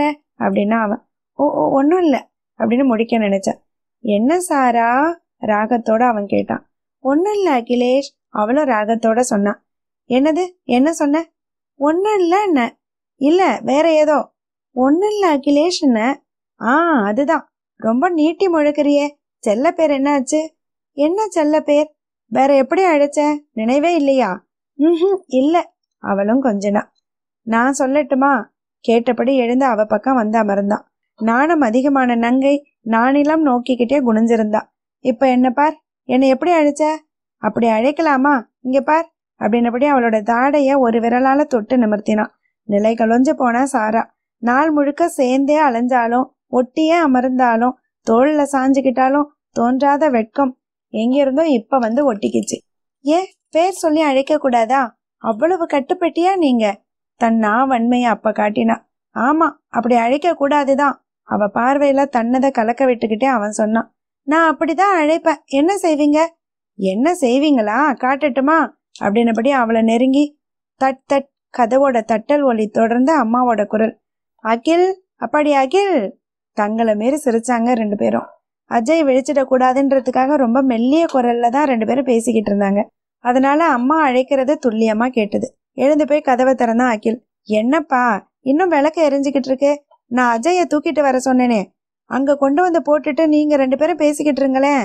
அப்படின்னும் போதே இடையில அங்க வந்த சாரா இல்லம்மா நாங்க எதுவும் பேசல. தூங்கத்தான் போறோம். இந்த பால் சூடாக இருக்கிறதுனால கொஞ்சம் லேட்டாச்சு அப்படின்னு முடிச்சா. சரிதாம்மா குட் நைட் அப்படின்னபடி லிஃப்டை நோக்கி அவங்க நடந்தாங்க. அம்மா போனதும் கதவை மூடிட்டு பாலை ரெண்டு பேரும் சமமா குடிச்சிட்டு பல்ல சுத்தம் பண்ணிட்டு வந்து படுத்ததும் ரெண்டு பேருக்குமே தூக்கம் வந்தது. ஆழ்ந்த நித்திரைக்குள்ள போய்கிட்டு இருந்த சாராவோட மனசுல தன் கணவனோட முகம் வந்து போனது. மகனோட கள்ளங்கபடம் இல்லாத முகம் நிலையா நின்னது. அவன் கிட்ட குனிஞ்சு அவனோட கன்னத்துல முத்தம் கொடுக்கற கரிஷ்மாவோட முகம் நினைவுல ஆடும்போதே தன் கணவன் கரிஷ்மாவை கண்டப்போ கலங்கின கண்களை யாருக்கும் தெரியாம தொடச்சிக்கிட்டதும் அவன் தோலை தட்டி அவ ஆறுதல் அளிச்சதும் அவன் முகம் தெளிஞ்சதும் நினைவுல வந்து குழப்பத்தை ஏற்படுத்தினது. லேசா கண்களை திறந்தா. நடுவுல படுத்திருந்த அஜய் திரும்பி தந்தை மேல காலை போட்டுக்கிட்டு தூங்கினான் தன் போக்குல இடது கரத்தை மகன் மேல போட்டு அணைச்சிக்கிட்டான் அகிலேஷ். அவனோட வலது கரம் ஏற்கனவே தலைப்புறமா ஓடி அவளோட இடது கரத்தை பிடிச்சிருந்தது. தூக்கத்துல ஆழ்ந்திருந்தவனோட உருவம் வரி வடிவமா தெரிஞ்சது. மெதுவா அவன் கரத்துல இருந்த தன்னோட கைய உருவி விடுவிச்சுக்கிட்டா. அன்னைக்கு குழந்தை காணாம போய் கிடைச்சிருந்த செய்தி தெரிஞ்சு விசாரிக்கன்னு கரிஷ்மா வந்திருந்தா. அவ அணிஞ்சிருந்த கருப்பு உடை அவளோட வெண்ணிற பால் மேனியோட வண்ணத்தை தூக்கி அடிச்சது. வழுவழுன்னு இருந்த சருமம் பளபளன்னு மின்ற மாதிரி இருந்தது. ஒருவேளை பொன்னியின் செல்வன்ல குறிப்பிடுற நந்தினியோட பாம்பு மாதிரியான அழகோ இவளுடையது அப்படின்னு இவளை எண்ண வச்சது. எந்த பெண்ணையும் கண்டு சாரா இது வரைக்கும் பொறாமப்பட்டதே இல்லை. யாரா இருந்தாலும் அழகா இருந்தா ரசிச்சிருக்கிறா. இப்படி ஒரு எண்ணம் தோன்றினதே இல்லை. அவளை கண்டதும் இவ கிட்ட நின்னுகிட்டு இருந்த அகிலேஷ் வேகமா போய் அவளை வரவேற்றதோட கண்கள் கலங்கினதையும் இவ கவனிச்சிருந்தா. கரிஷ்மாவை கண்டு சிநேகமா கையை ஆட்டின சிறுவன் ஹாய் ஆண்டி என்னால நடக்க முடியாது. நீங்க என்கிட்ட வாங்க. அப்படின்னு பெரியத்தனமா சொன்னதும் வேகமா அவனை நெருங்கி அச்சுக்கண்ணா எப்படி இருக்கீங்க? உங்களுக்காக ஓரியோ கேட்பரிஸ் வாங்கிட்டு வந்திருக்கேன். அப்படின்னபடி அவனை அணைச்சு மொத்தம் கொடுத்து கையில இருந்த சாக்லேட் பாக்ஸ் அவன்கிட்ட கொடுத்ததும் நினைவுல வந்தது. அதுக்கப்புறம் பக்கத்துல நின்ன அகிலேஷை கண்டு அவனோட கண்கள் கலங்கி இருக்கிறதையும் அதுக்கு பிரதியா அவன் தோலை அவ தட்டி கொடுத்ததும் அந்த நேரத்துல இவளோட கண்களை மட்டுமே உறுத்தினது இந்த நேரத்துல இவளோட கருத்தையும் உறுத்தினது. அப்படி என்ன உறவு? அவ்வளவு நெருக்கமா? அது நட்பா இல்ல காதலா? சச்சா அப்படியெல்லாம் இருந்திருந்தா தன்னையே மணந்திருக்கிறான். ஆனா அவகிட்ட இல்லாத ஒண்ணு என்கிட்ட இருக்கோ? அவனுடைய வாரிசு அதுக்காக தான் தன்னை மணந்துக்கிட்டானோ அத்தியாயம் எட்டு. ராத்திரி அதிக நேரம் தூக்கம் இல்லாம அவதிப்பட்டாலும் விடியல் தொடங்கறதுக்கு முன்னாடியே விழிச்சவ முதல்ல தன் மகனை ஆசை தீர கண்டு கழிச்சா. பால் மனம் மாறாத முகம் அவளை கொள்ள கொண்டது. விடிவிளக்கு வெளிச்சமே அவனோட முகத்தை பிரகாசமா காட்டுனது. தூக்கி கொஞ்சிற ஆசைய அடக்கி லேசா இதழ் ஒற்றினா மகனோட நெற்றியில. அடுத்து படுத்திருந்த கணவனோட முகம் தன் நெஞ்சில நீக்கமர நிறைஞ்சிருந்தாலும் நிழலா சில உருவங்களும் நினைவில் ஆடுனது. என்னென்னவோ விளக்கங்கள் கேட்க தோன்றினாலும் உரிமை இல்லாத அவனோட உறவை நினைச்சு அடக்கிக்கிட்டான் தனக்கும் அவனுக்குமான கணவன் மனைவி உறவே ஒரு நிழலாட்டமா தோன்றினது. அதோட பிடிப்பு தன் மகன்தான்ன்றது அவளோட மனசு உறுதி செஞ்சது. அஜயால வந்த அந்த உறவு தன்னோட நிரந்தரமானது இல்லையோ? ஆனாலும் ஆழ்ந்த நித்திரையில இருக்கிற இவனோட முகத்துல துளியும் கலப்படம் இல்லையே தன்னெஞ்சரிய பொய்யற்கன்ற மாதிரி மகனோட பால் முகம் மாதிரி தான் அவனோட முகமும் இருந்தது. மீசை வச்ச குழந்தை முகம். ஆறு வருஷங்களுக்கு முன்னாடி பார்த்த அதே அவனுடைய முகம். இன்னைக்கு சின்ன மாற்றமும் இல்லாம இருக்கிறது எப்படி? அவ செஞ்சுக்கிட்ட மாற்றங்களும் தானா வந்துட்டு இருந்த தாய்மையோட உடல்நிலை மாற்றங்களும் அவளை அப்படியே இருக்க விடல.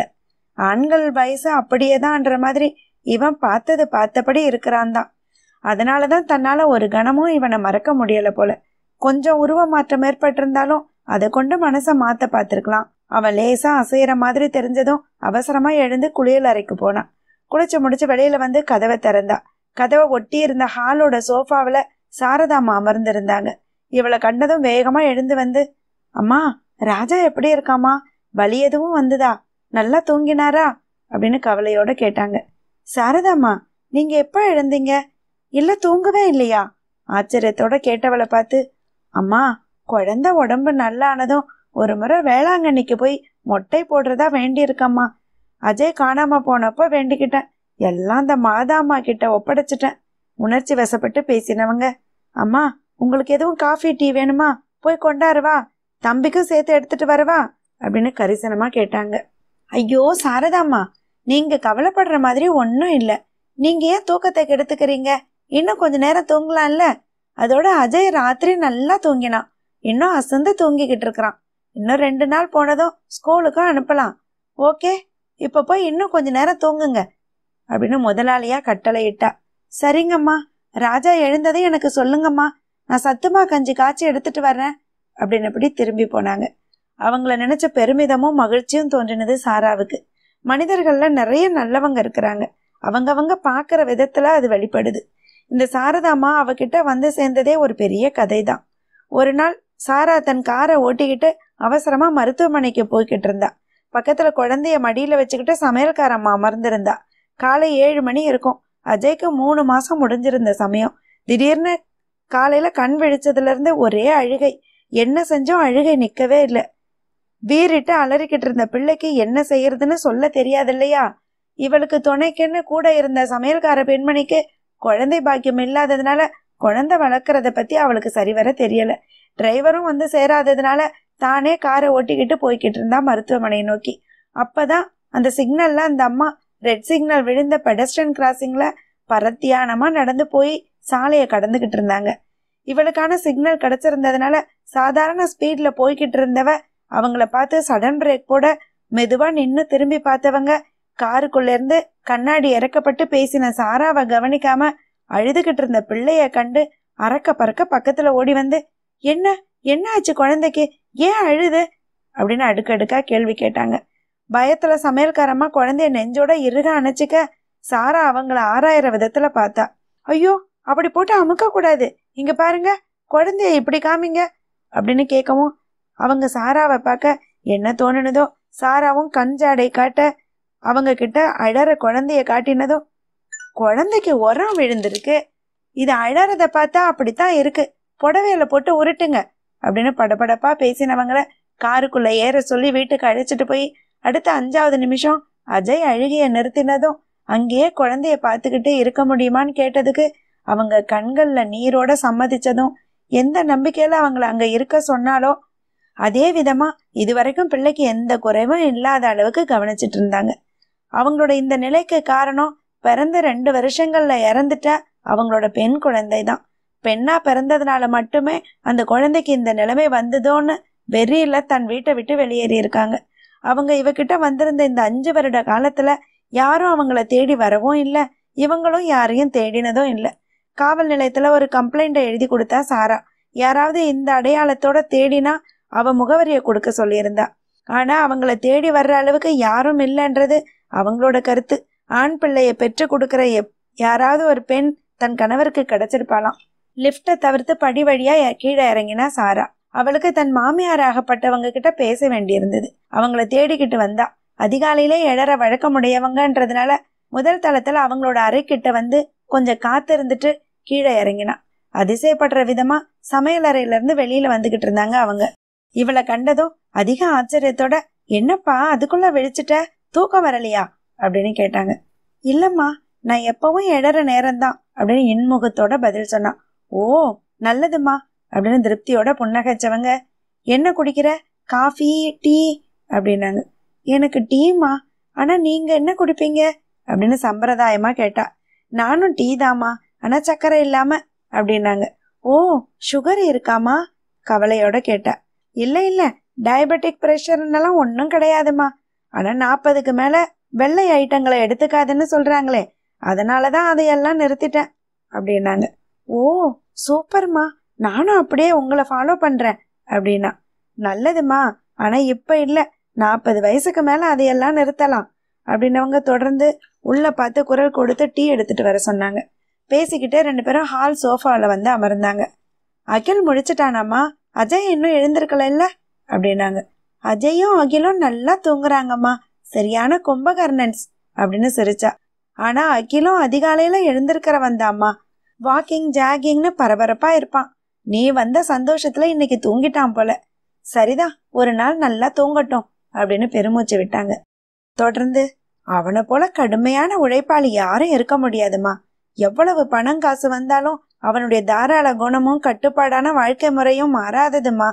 ஆனா திருமணத்துல மட்டும்தான் தள்ளிக்கிட்டே இருந்தான். இப்படி ஒரு மகாலட்சுமி இருக்கிறா அருமையான மகனோடன்னு தெரிஞ்சிருந்தா நானும் அவ்வளவு தொல்லை கொடுத்துருக்க மாட்டேன். அதை விடுமா நீ என்ன சொல்ற? இனி இங்கே இருந்துடலாம் தானே? இப்பதான் இந்த வீடே ஒரு நல்ல இல்லமா தெரியுது. விளக்கேத்தினா கோயிலா இருக்கு அப்படின்னு வாஞ்சையோட அவளை பார்த்தாங்க. இல்லம்மா நான் அந்த அங்க போய் இவங்க கிட்ட என்னன்னு சொல்றது? சரிப்பா ரெண்டு பேரும் பேசி ஒரு முடிவுக்கு வாங்க.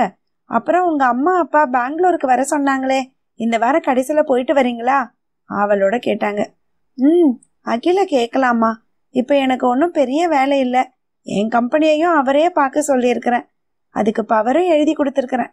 அதனால என்னோட வேலைகளும் சேர்த்து அகில் கவனிக்கிற மாதிரி இருக்கும். பாவம் அவர்.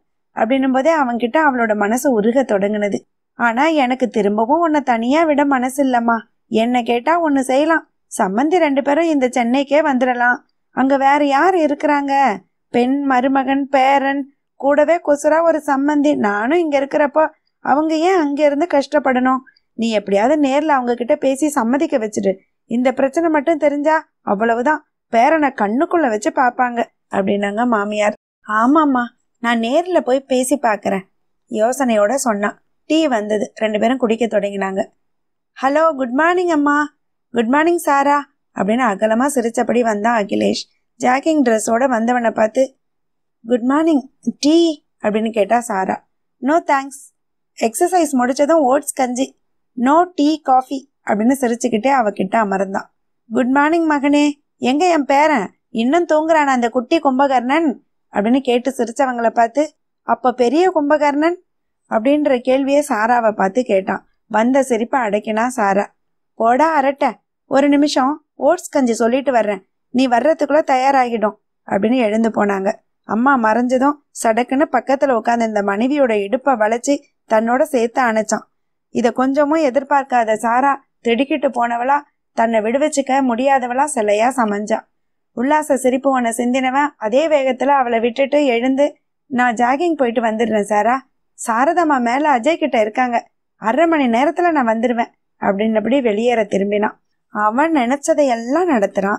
தன்னால ஒரு அணுவையும் அவன் இல்லாம அசைக்க கூட முடியல. ஆண் இனத்தை அடியோடு அழிக்கணும். ஆணுக்கு நிகர் பெண் இங்க உண்டுன்றத காமிக்கணும். தன்னால முடியுன்றத நிரூபிக்க நினைச்சா. ஒரு நிமிஷம் அப்படின்னு எழுந்தா. நின்னு திரும்பினவன் என்ன சாரா? அப்படின்னு கேட்டான். நான் இன்னைக்கு என் வீட்டுக்கு போறேன். அஜயையும் அழைச்சிட்டு போகலாம்னு நினைக்கிறேன். அப்படின்னா ஆ? என்ன?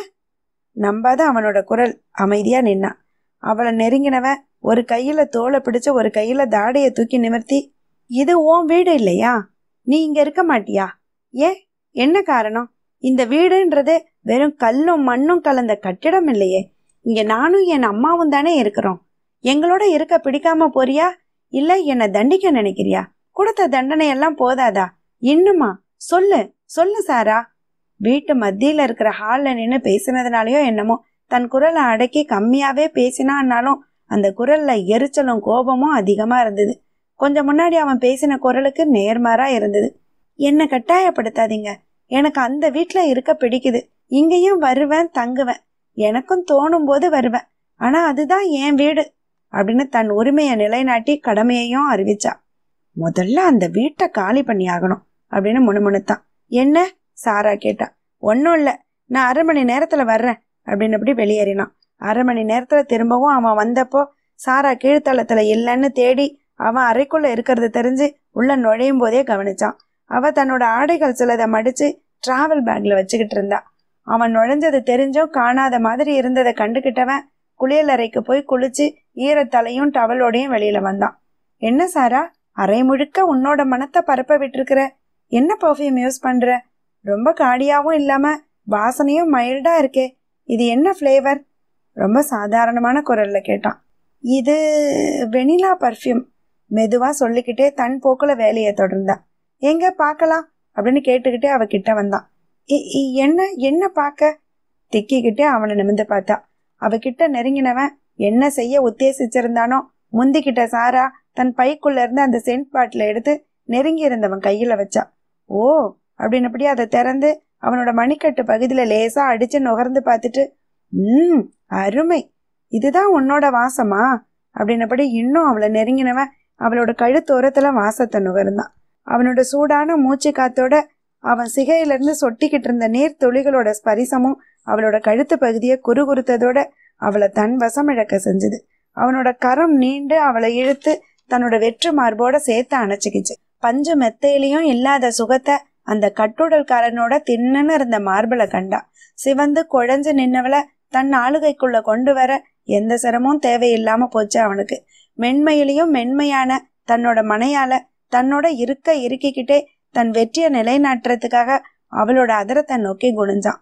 ஆழ்ந்த முத்தத்தோட முடிவுல அவளை விடுதலை செஞ்சு தன் கைப்பிடிக்குள்ள நிறுத்தி வச்சுக்கிட்டே ஒரு தவற செஞ்சான். ஒரு சின்ன சிரிப்பை உதிர்த்திட்டு இன்னமும் நீ அந்த வீட்டுக்கு போகத்தான் வேணுமா? அப்படின்னு கேட்டு அவளோட பதிலை எதிர்பார்த்தப்போ அவளுக்கும் அது தேவையில்லைன்றதா தான் தோன்றினது. சார் சார் அப்படின்ற குரலோட கதவு தட்டுற ஒலியை தொடர்ந்து அவளை சுத்தி இருந்த மாய வலையும் அருந்தது. எடுபடி பையன் தேவா அகிலேஷோட ஓட்ஸ் கஞ்சியை கொடுத்துட்டு போனான். சிவ பூஜை கரடி அப்படின்னபடி அர்த்த புஷ்டியோட சிரிச்சவனை அருவருப்போட பார்த்தா சாரா. அத்தியாயம் ஒன்பது. சாரா ஒற்றை பிள்ளையா பிறந்து வளர்ந்தவ பொதுவா பிடிவாதமும் விட்டு கொடுக்காத கொள்கையும் அதிகமா இருக்கும்னு சொல்லுவாங்க. ஆனா சாரா நியாயம்னு தெரிஞ்ச எதையும் தன் பிடிவாதத்தால கெடுக்க மாட்டா. அவளோட தாய் தந்தையும் அதை ஊக்குவிக்கிறது இல்ல மற்றபடி தனியலா பெரிய நிறுவனத்தை வெற்றிகரமா நடத்துறவ இவ்வளவு தூரம் வளர்ந்திருக்க முடியுமா? தான் நினைச்சது ஒன்னே மதின்னு வீம்பு பிடியா இருக்க மாட்டா. அதனால தானோ அகிலேஷ் கிட்ட நியாயத்தை எதிர்பார்த்திருக்கிறா. அதுல தோல்வியை கண்டு மனசு வெதும்பினா. இப்ப அவனை பத்தி முழுக்க தெரிஞ்சுக்கிட்டதா எண்ணம் ஓடுனது. அவனுக்கு அவனோட மகன் வேணும். வாரிசு தேவை தீர்ந்தது. வழக்கு தீர்ப்புன்னு கோர்ட்டுக்கு போனா நாட்களும் பணமும் வீண். அதனால கொசுரா இவளை மனைவின்னு ஏத்துக்க சித்தமானான். அவனோட மனைவியும் மகனும் அவனோட ஆளுகைக்கு உட்பட்டு அவன் வீட்டில தான் வசிக்கணும்னு நினைக்கிறான். அதுக்கு மறுப்பு தெரிவிக்கிற சாராவை தன் போலி காதல் கொண்டு அவளோட பலகீனத்தை பயன்படுத்த பார்க்கறான்.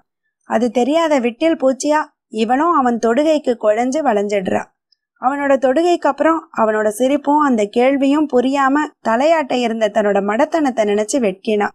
இவன்ல இருந்து உருவான பிள்ளையையே இவனுக்கு கொடுக்க மறுக்கிறவ சுதந்திரவாளியான தன்னை எப்படி அவனுக்கு இரையாக்குவா? அதுக்கு இவன் எங்கேயாவது கிராமப்புறங்களுக்கு போய் ஒரு கனிமொழியோ கயல்விழியோ பிடிச்சிருக்கணும். ஆனா இந்த காலகட்டத்துல எந்த பெண்ணுமே அவ்வளவு மடத்தனத்தோட தன்னை விட்டு கொடுத்து தன் சுயத்தை விட்டு கொடுத்து வாழ விரும்புறதில்லன்றது இவளுக்கு நிமர்வையே தந்தது. பெண்கள்னா விழ தட்டிடலான்ற எருமாப்ப உடைக்கணும். தன் எதிர்ப்பை காட்டுறவளா பட்டுன்னு நிமிர்ந்து நெகிழ்ந்திருந்த ஆடையை சரி செஞ்சுக்கிட்டு பக்கத்துல தயாரா இருந்த பைய எடுத்துக்கிட்டு திரும்பி அவனை பார்த்து சாரி அகிலேஷ் நான் போறேன். என் வீட்டுக்கு? இன்னைக்கு அஜய் இங்க இருக்கட்டும். நான் ஆபீஸ் போக வேண்டி இருக்கிறதுனால நாளைக்கு அழைச்சிக்கிறேன். நீங்க என்னை இனி இங்க இருக்க சொல்லாதீங்க. எனக்கும் எல்லாம் தெரியும். அப்படின்னபடி வீராப்பா நின்னவளை பார்த்தா சிறு குழந்தை மாதிரி அவனுக்கு தோன்றினதோ. என்ன ஆச்சு ஏன் இந்த திடீர் மாற்றம்? குழப்பத்தோட கேட்டான். எனக்கு உங்க வீட்டில் இருக்க பிடிக்கல. என் வீடு தான் எனக்கு பிடிச்சிருக்கு அப்படின்னா. அப்படியா? அப்ப சரி. ராமர் எங்கேயோ அங்கதான் சீதைன்ற மாதிரி அப்படின்னு அவனை இடையிட்டு அதெல்லாம் அந்த கால வழக்கங்கள் அப்படின்னு பட்டுன்னு சொன்னான். பொறு பொறு. நான் சொல்லி முடிச்சிடுறேன். அது மாதிரி சீதை இருக்கிற இடம் ராமருக்குன்னு நான் ஓ நம்ம அந்த வீட்டுக்கு வந்துடுறேன் அப்படின்னு நம்மள அழுத்தம் கொடுத்து சொன்னான். வேண்டாம் தேவையில்லை. நான் என்னால் தனியாக இறந்துக்க முடியும். அதோட நான் ஒன்றும் தனியாகவும் இல்லையே நான் பார்த்துக்கிறேன் அப்படின்னபடி திரும்பினான் சட்டுன்னு பொறுமை இழந்தவனா அவளோட கரத்தை பிடிச்சு நிறுத்தினான் அவ்வளவுல தன் நிதானத்தை இழந்தா சாரா. விடுங்க இந்த தொடர வேலையெல்லாம் விட்டுடுங்க. தொட்டு தடவி என்னை மயக்க முயற்சி செய்றீங்களா? அவ்வளவுக்கு தெரியாத முட்டாளா நான்? இந்த தொட்டு பேசுறதையெல்லாம் உங்க கரிஷ்மாவோட நிறுத்திக்கோங்க.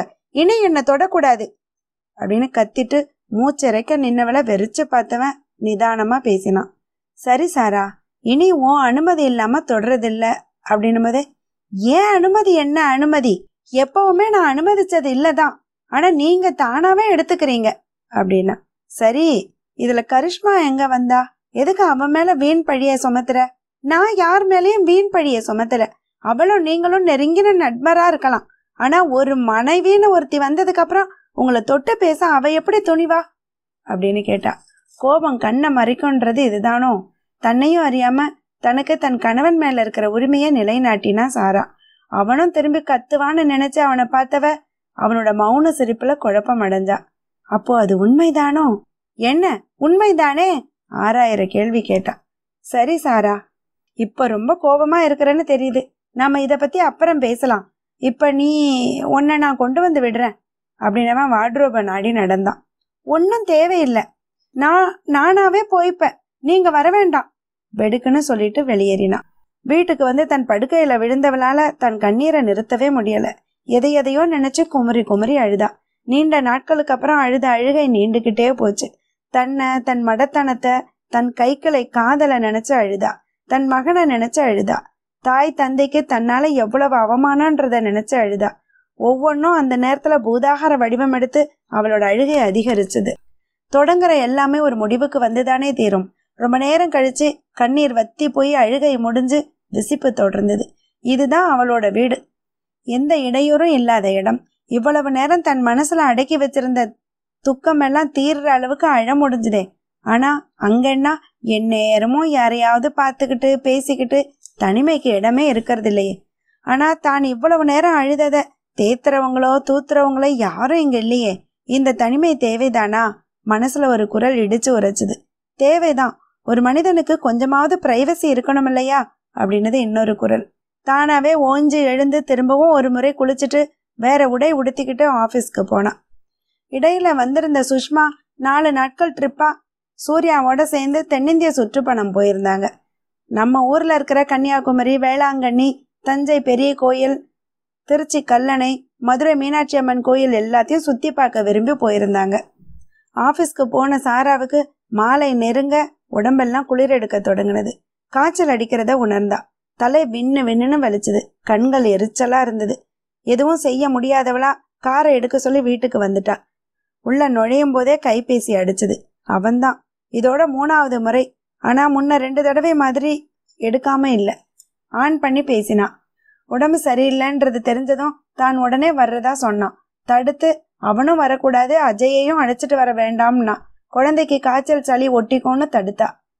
தான் மட்டுமாவது வரேன்னு சொன்னவனை தடுத்து தான் மருத்துவரை வர சொல்லியிருக்கிறதாவும் தன் பேச்ச மீறி அவன் வந்தா மருந்து எதுவும் எடுத்துக்க முடியாதுன்னு அவன் சொல்லிடவே வேற வழி இல்லாம காலை கட் பண்ணினான். இவளோட தேவை அறிஞ்சு உதவி செய்யக்கூடிய சாரதாமாவும் அஜயோட அகிலேஷ் வீட்லயே இருந்துடவே தன் கடமையை சரிவர செய்கிற மற்ற பணியாட்கள் இவ கேட்டதை செஞ்சாங்களே ஒழிய இவளோட தேவையை அறிஞ்சு அவங்களால செய்ய முடியல.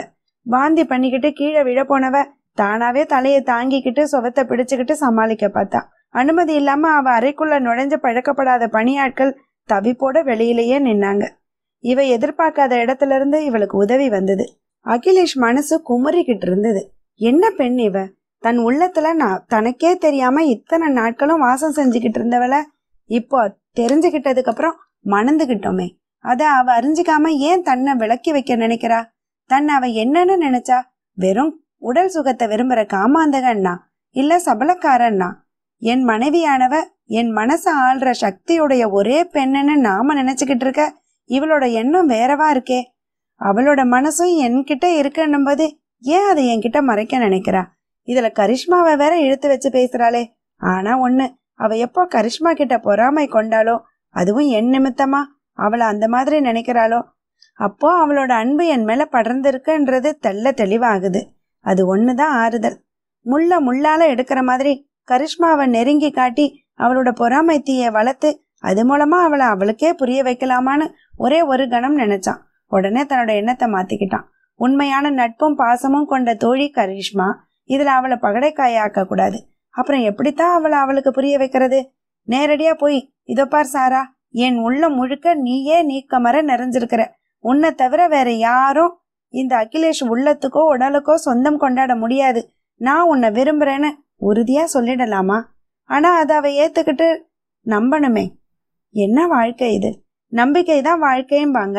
அந்த நம்பிக்கை பரஸ்பரம் கணவன் மனைவி கிட்ட இல்லாம போனா வாழ்க்கையே தொலைஞ்சிட்ட மாதிரி தான். மீதி இருக்கிற சொச்ச வாழ்க்கைய நல்ல விதமா வாழணும்னா அந்த நம்பிக்கையை முழுக்க அவகிட்ட உருவாக்கணும். காமாலை கண் கொண்டு என்னை பார்க்கறத தவிர்த்து அவளோட உத்தம புருஷனா என்னை பார்க்க வைக்கணும். ஏதேதோ எண்ணங்களால அலைக்கழிக்கப்பட்ட அகிலேஷ் தன் உள்ளத்தை திறந்து தன் மனைவி கிட்ட வெளியிட துடிச்ச நேரத்துல சாராவுக்கு உடல் நலமில்லாம போய் தன்னை வரவும் கூடாதுன்னு சொல்லிடவும் என்ன செய்யறதுன்னு தெரியாம திகைச்சு போனவன் தன் தாய் உதவிய நாடினான். சாராவுக்கு உடல் நலமில்லைன்றத கேட்டதுமே தான் போய் அவளை கவனிச்சுக்கிறதா சொல்லி உடனே கிளம்பினாங்க. நெகிழ்வோட பார்த்த மகன் தன் தாயோட கரங்களை பிடிச்சு தழுதழுத்தான். அவனுக்கு ஆறுதல் சொன்ன அவங்க சாரா வீட்டுக்கு வந்து சேர்ந்தாங்க. தன் மாமியாரை பத்தி அது வரைக்கும் பெருசா எதுவும் நினைச்சிருக்காத சாரா தன்னை கவனிச்சுக்க வந்தவங்கள இன்முகத்தோடயே வரவேற்றான். ஆனா ஒரு தாய் செய்யக்கூடிய எல்லாத்தையும் அவங்க செய்ய முற்பட்டப்போ தடுத்தவளை வென்றாங்க அவங்க. அவளோட காய்ச்சலை பரிசோதிச்ச மருத்துவர் அடுத்த மூணு நாட்களுக்கு இந்த உபாதைகள் தொடரும். ஆனா உணவு மட்டும் கொடுத்துக்கிட்டே இருக்கணும். உடம்புல சத்து குறையாம பாத்துக்கணும்னு சொல்லிட்டு போனார்.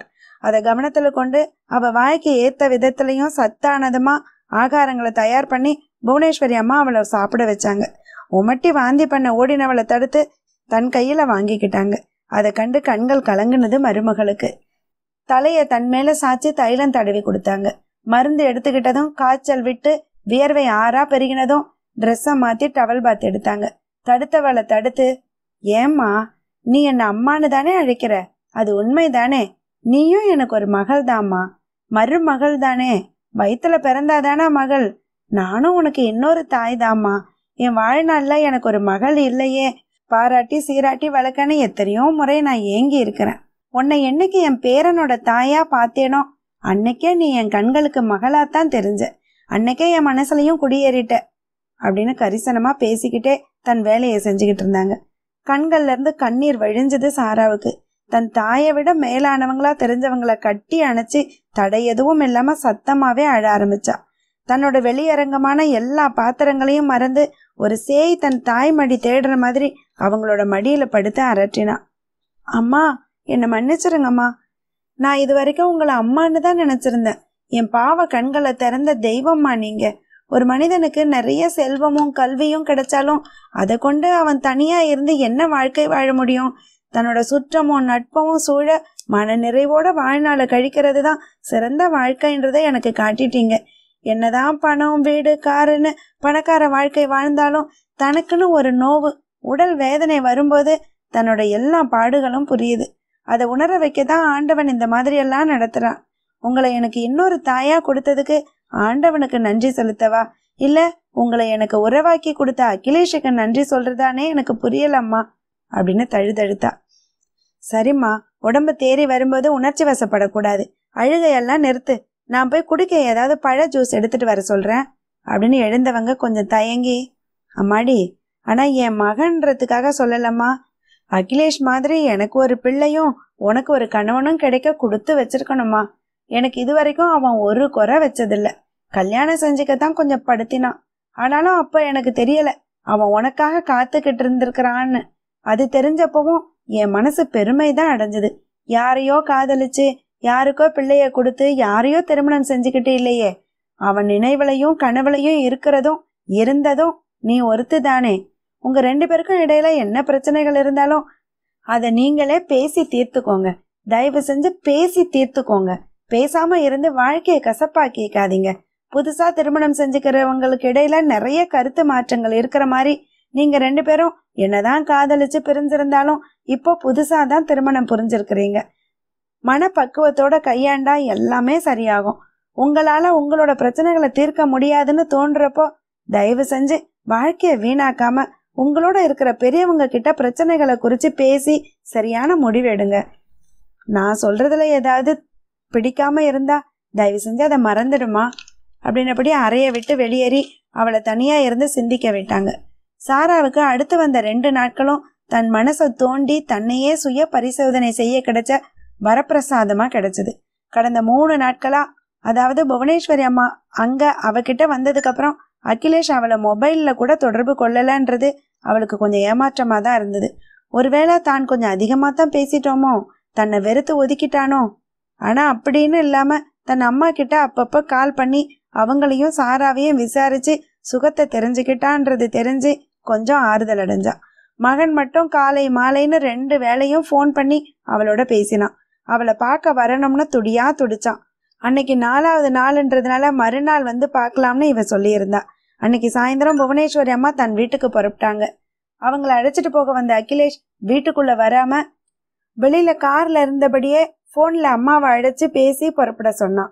அதை தொடர்ந்து கிளம்பினவங்களை தடுக்கவும் முடியாம அவனை உள்ள வான அழைக்கவும் முடியாம தடுமாறி நின்னா சாரா.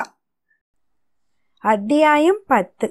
தன்னால சாராவை விட்டு போகவும் முடியாம தன் மகனையும் குறிப்பா பேரனையும் விட்டு பிரிஞ்சிருக்கவும் முடியாம வேதனையா இருக்கிறத கோடி காட்டி பேசினாங்க புவனேஸ்வரி அம்மா. அவங்களாவது நீயும் வர்றியா அங்கன்னு ஒரு வார்த்தை கேட்டிருக்கலாம். இல்ல அவ்வளவு உங்களுக்கு கஷ்டமா இருந்தா நானும் உங்களோட கூட வந்துடுறேன்னு எவளாவது சொல்லியிருக்கலாம். அது மட்டும் இல்லாமல் வெளியில் வந்து நின்று காத்துக்கிட்டு இருக்கிற தன் கணவனாவது நீ இருக்கிற இடம் என் வீடு தான் புறப்பட்டு வான்னு கட்டளை இட்டிருக்கலாம் ஆனால் இந்த எல்லா கலாம்களுக்கும் தடை செஞ்சவ இவதானே அதை அவ தான் உடைக்கணும். புறப்பட்ட மாமியார் காரு கிட்ட போனப்போ இவளும் மெல்ல தன் அண்ணன் நடையோட வெளியில் வந்து உள்ளே அமர்ந்திருந்த அகிலேஷை பார்த்தா. ஆனால் உடல் நலம் எப்படி இருக்குன்னு ஒப்புக்கு ஒரு கேள்வி கேட்டவன் இவளோட ம் நல்லா இருக்கிறேன். அப்படின்ற பதிலை வாங்கிக்கிட்டு சம்பிரதாயமாக ஒரு உடம்ப பார்த்துக்கோ நாளைக்கு அஜய் அழைச்சிட்டு வரேன் அப்படின்ற வார்த்தையோட முடிச்சுக்கிட்டான். காருக்குள்ளே ஏறின புவனேஸ்வரி அம்மா அம்மாடி நான் போய் சாரதாமாவை அனுப்பி வைக்கிறேன். ராத்திரி உன்னோட படுக்க வச்சுக்கோ. காலையிலையும் அஜயை நான் பார்த்துக்கிறேன் பச்சை தண்ணியில் குளிச்சிடாத பச்சை தண்ணி குடிக்காத ஜாக்கிரதை வரட்டுமா? அப்படின்னபடி கதவை சாத்தினாங்க. சரிங்கம்மா நீங்கள் போய் ஃபோன் பண்ணுங்க அப்படின்னதோட இவ விடை கொடுத்தா. பை சொல்லிட்டு போனான் அகிலேஷ். இதெல்லாம் தன் தாய்க்கான சம்பிரதாயங்கள்ன்றது அவளுக்கு தெரியும். மன வருத்தத்தோட கொஞ்ச நேரம் தோட்டத்து காத்துல நடந்ததுக்கப்புறம் உள்ளே போனான் மறுநாள் காலை சுற்றுப்பயணத்தை முடிச்சுக்கிட்டு சுஷ்மாவும் சூர்யாவும் சென்னைக்கு வந்து சேர்ந்தாங்க.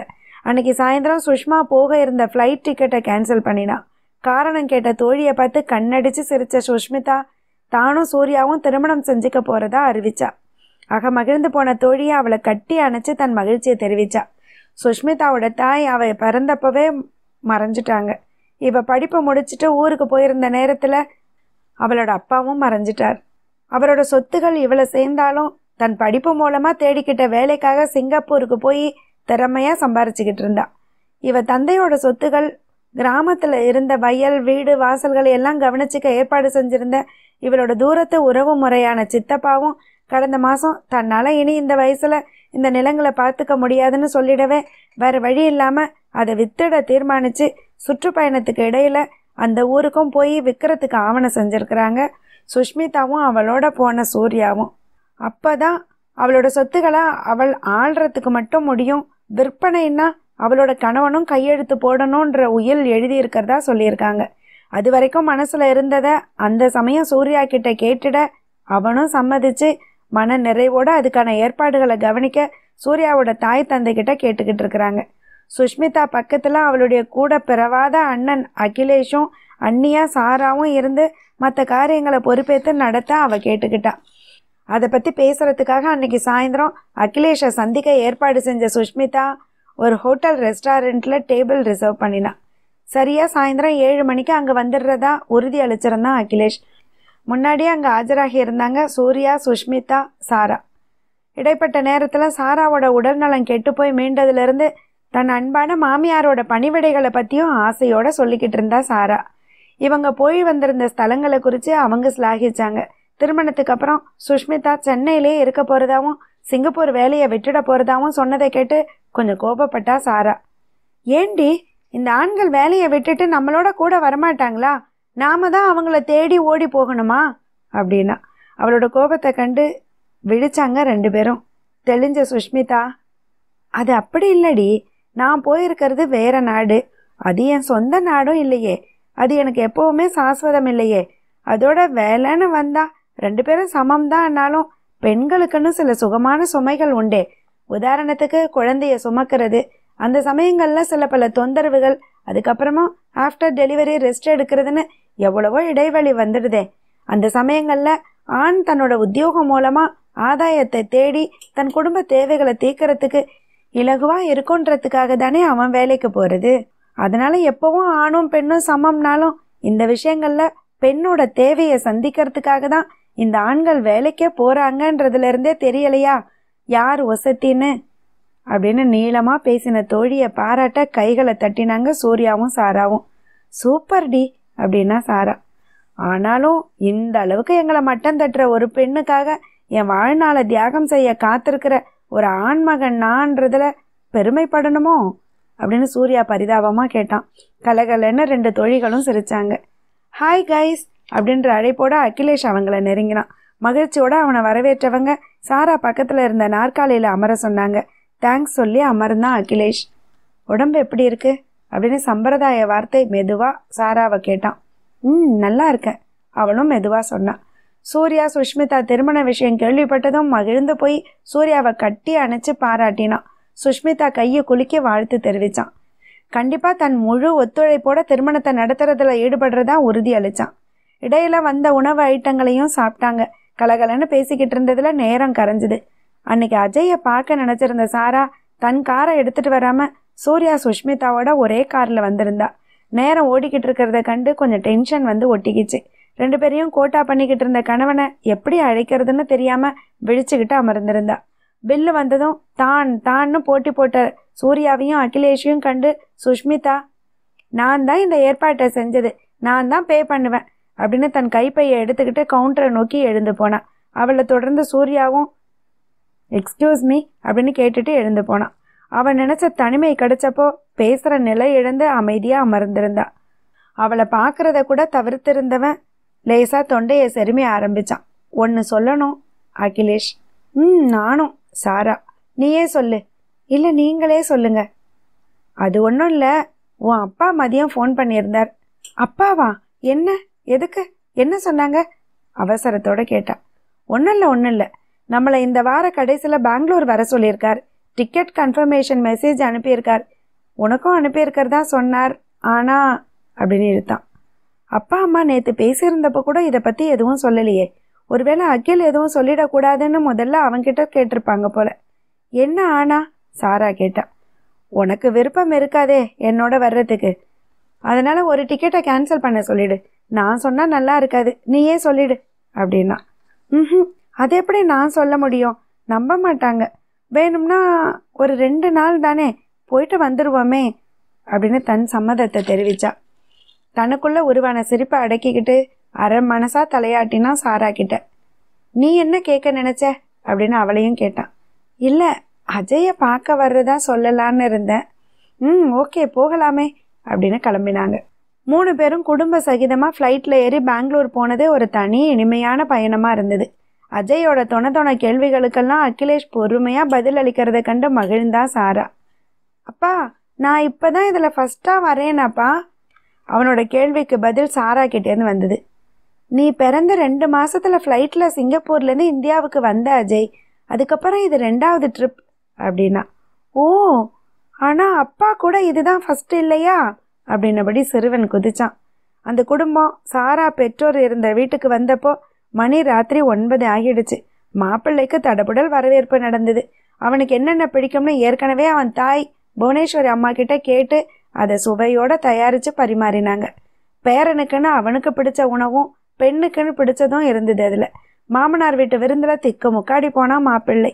உண்டு முடிச்சு ஆசுவாசமாக பேசிக்கிட்டு இருந்தாங்க. அப்போ மருமகன் அவங்கள நேருக்கு நேராக கேட்டான் நீங்கள் ஏன் அங்கிள் சென்னைக்கு வந்துடக்கூடாது. இங்க நிறுவனத்தை நிர்வகிக்கிற பொறுப்பை திறமையான ஒருத்தர்கிட்ட விட்டுட்டு நீங்க அங்க வந்துட்டா எங்களுக்கும் மன நிம்மதியா இருக்கும் அப்படின்னா. கண்ணன் ராதாமாவை பார்த்தார். தயங்கினவங்கள பொறுமையா யோசிச்சு முடிவெடுக்க சொன்னா மாப்பிள்ளை. யோசனையோட தலையாட்டினார் கண்ணன். கண்ணம்மா அஜய் குட்டிக்கு தூக்கம் வந்துட்டுது. நான் ஏன் கூட அவனை படுக்க வச்சுக்கிறேன். நீங்க போய் படுங்க அப்படின்னபடி பிள்ளையோட ராதாம்மா போனாங்க. அவங்கள தொடர்ந்து குட் நைட் சொல்லிட்டு கண்ணனும் போனார். தன் அறைய அவனோட பகிர்ந்துக்க தீர்மானிச்சு அவனை அழைச்சா சாரா. வாங்க அப்படின்னபடி முன்னாடி நடந்தா. நான் எனக்கு விருந்தினர் அறை எதுவும் இருந்தால் அதில் படுத்துக்கிறேனே சாரா. இல்லை இங்கே ஹால்லையே அப்படின்னு இழுத்தவனை தடுத்து பரவாயில்ல உங்களை யாரும் கடிச்சு தின்னிட மாட்டாங்க வாங்க அப்படின்னு லேசா பல்ல கடிச்சா. ஆமாம் அவளுக்கு கோபந்தான் விமானத்திலே ஆகட்டும் கார் பிரயாணத்திலே ஆகட்டும். அவளை அவன் தவிர்த்த விதம் இவளுக்கு வேதனை அளிச்சுது. இவன் நெருங்கி நின்னா அவன் தள்ளி போய் நின்னான் இவன் எதேச்சா அஜய பிடிக்கும் போதோ ஏதாவது பொருட்கள் கொடுக்கும் போதோ கைப்பட்டுட்டா கை பட்டுட்டா உதறிக்கிட்டு கொஞ்சம் தள்ளி போனான். அவ்வளவு ஒதுங்கி போறவனை என்ன செய்யறது? பேசாம அவ பின்னாடி நடந்து வந்தவன் அவளோட அறைக்குள்ள நுழைஞ்சதும் தன் பெட்டியிலேருந்து இரவு உடையை எடுத்துக்கிட்டு குளியல் அறைக்குள்ளே போனான். அவன் வெளியில் வந்ததுக்கப்புறம் அவளும் உடையை எடுத்துக்கிட்டு உள்ளே போய் குளிச்சுட்டு வெளியேறினான். அங்கேருந்து படுக்கையில் சாஞ்சு கண்மூடி கடந்தவனை பார்த்தவ பேசாமல் விளக்க அணைச்சிட்டு வந்து ஒரு ஓரமாக படுத்தா.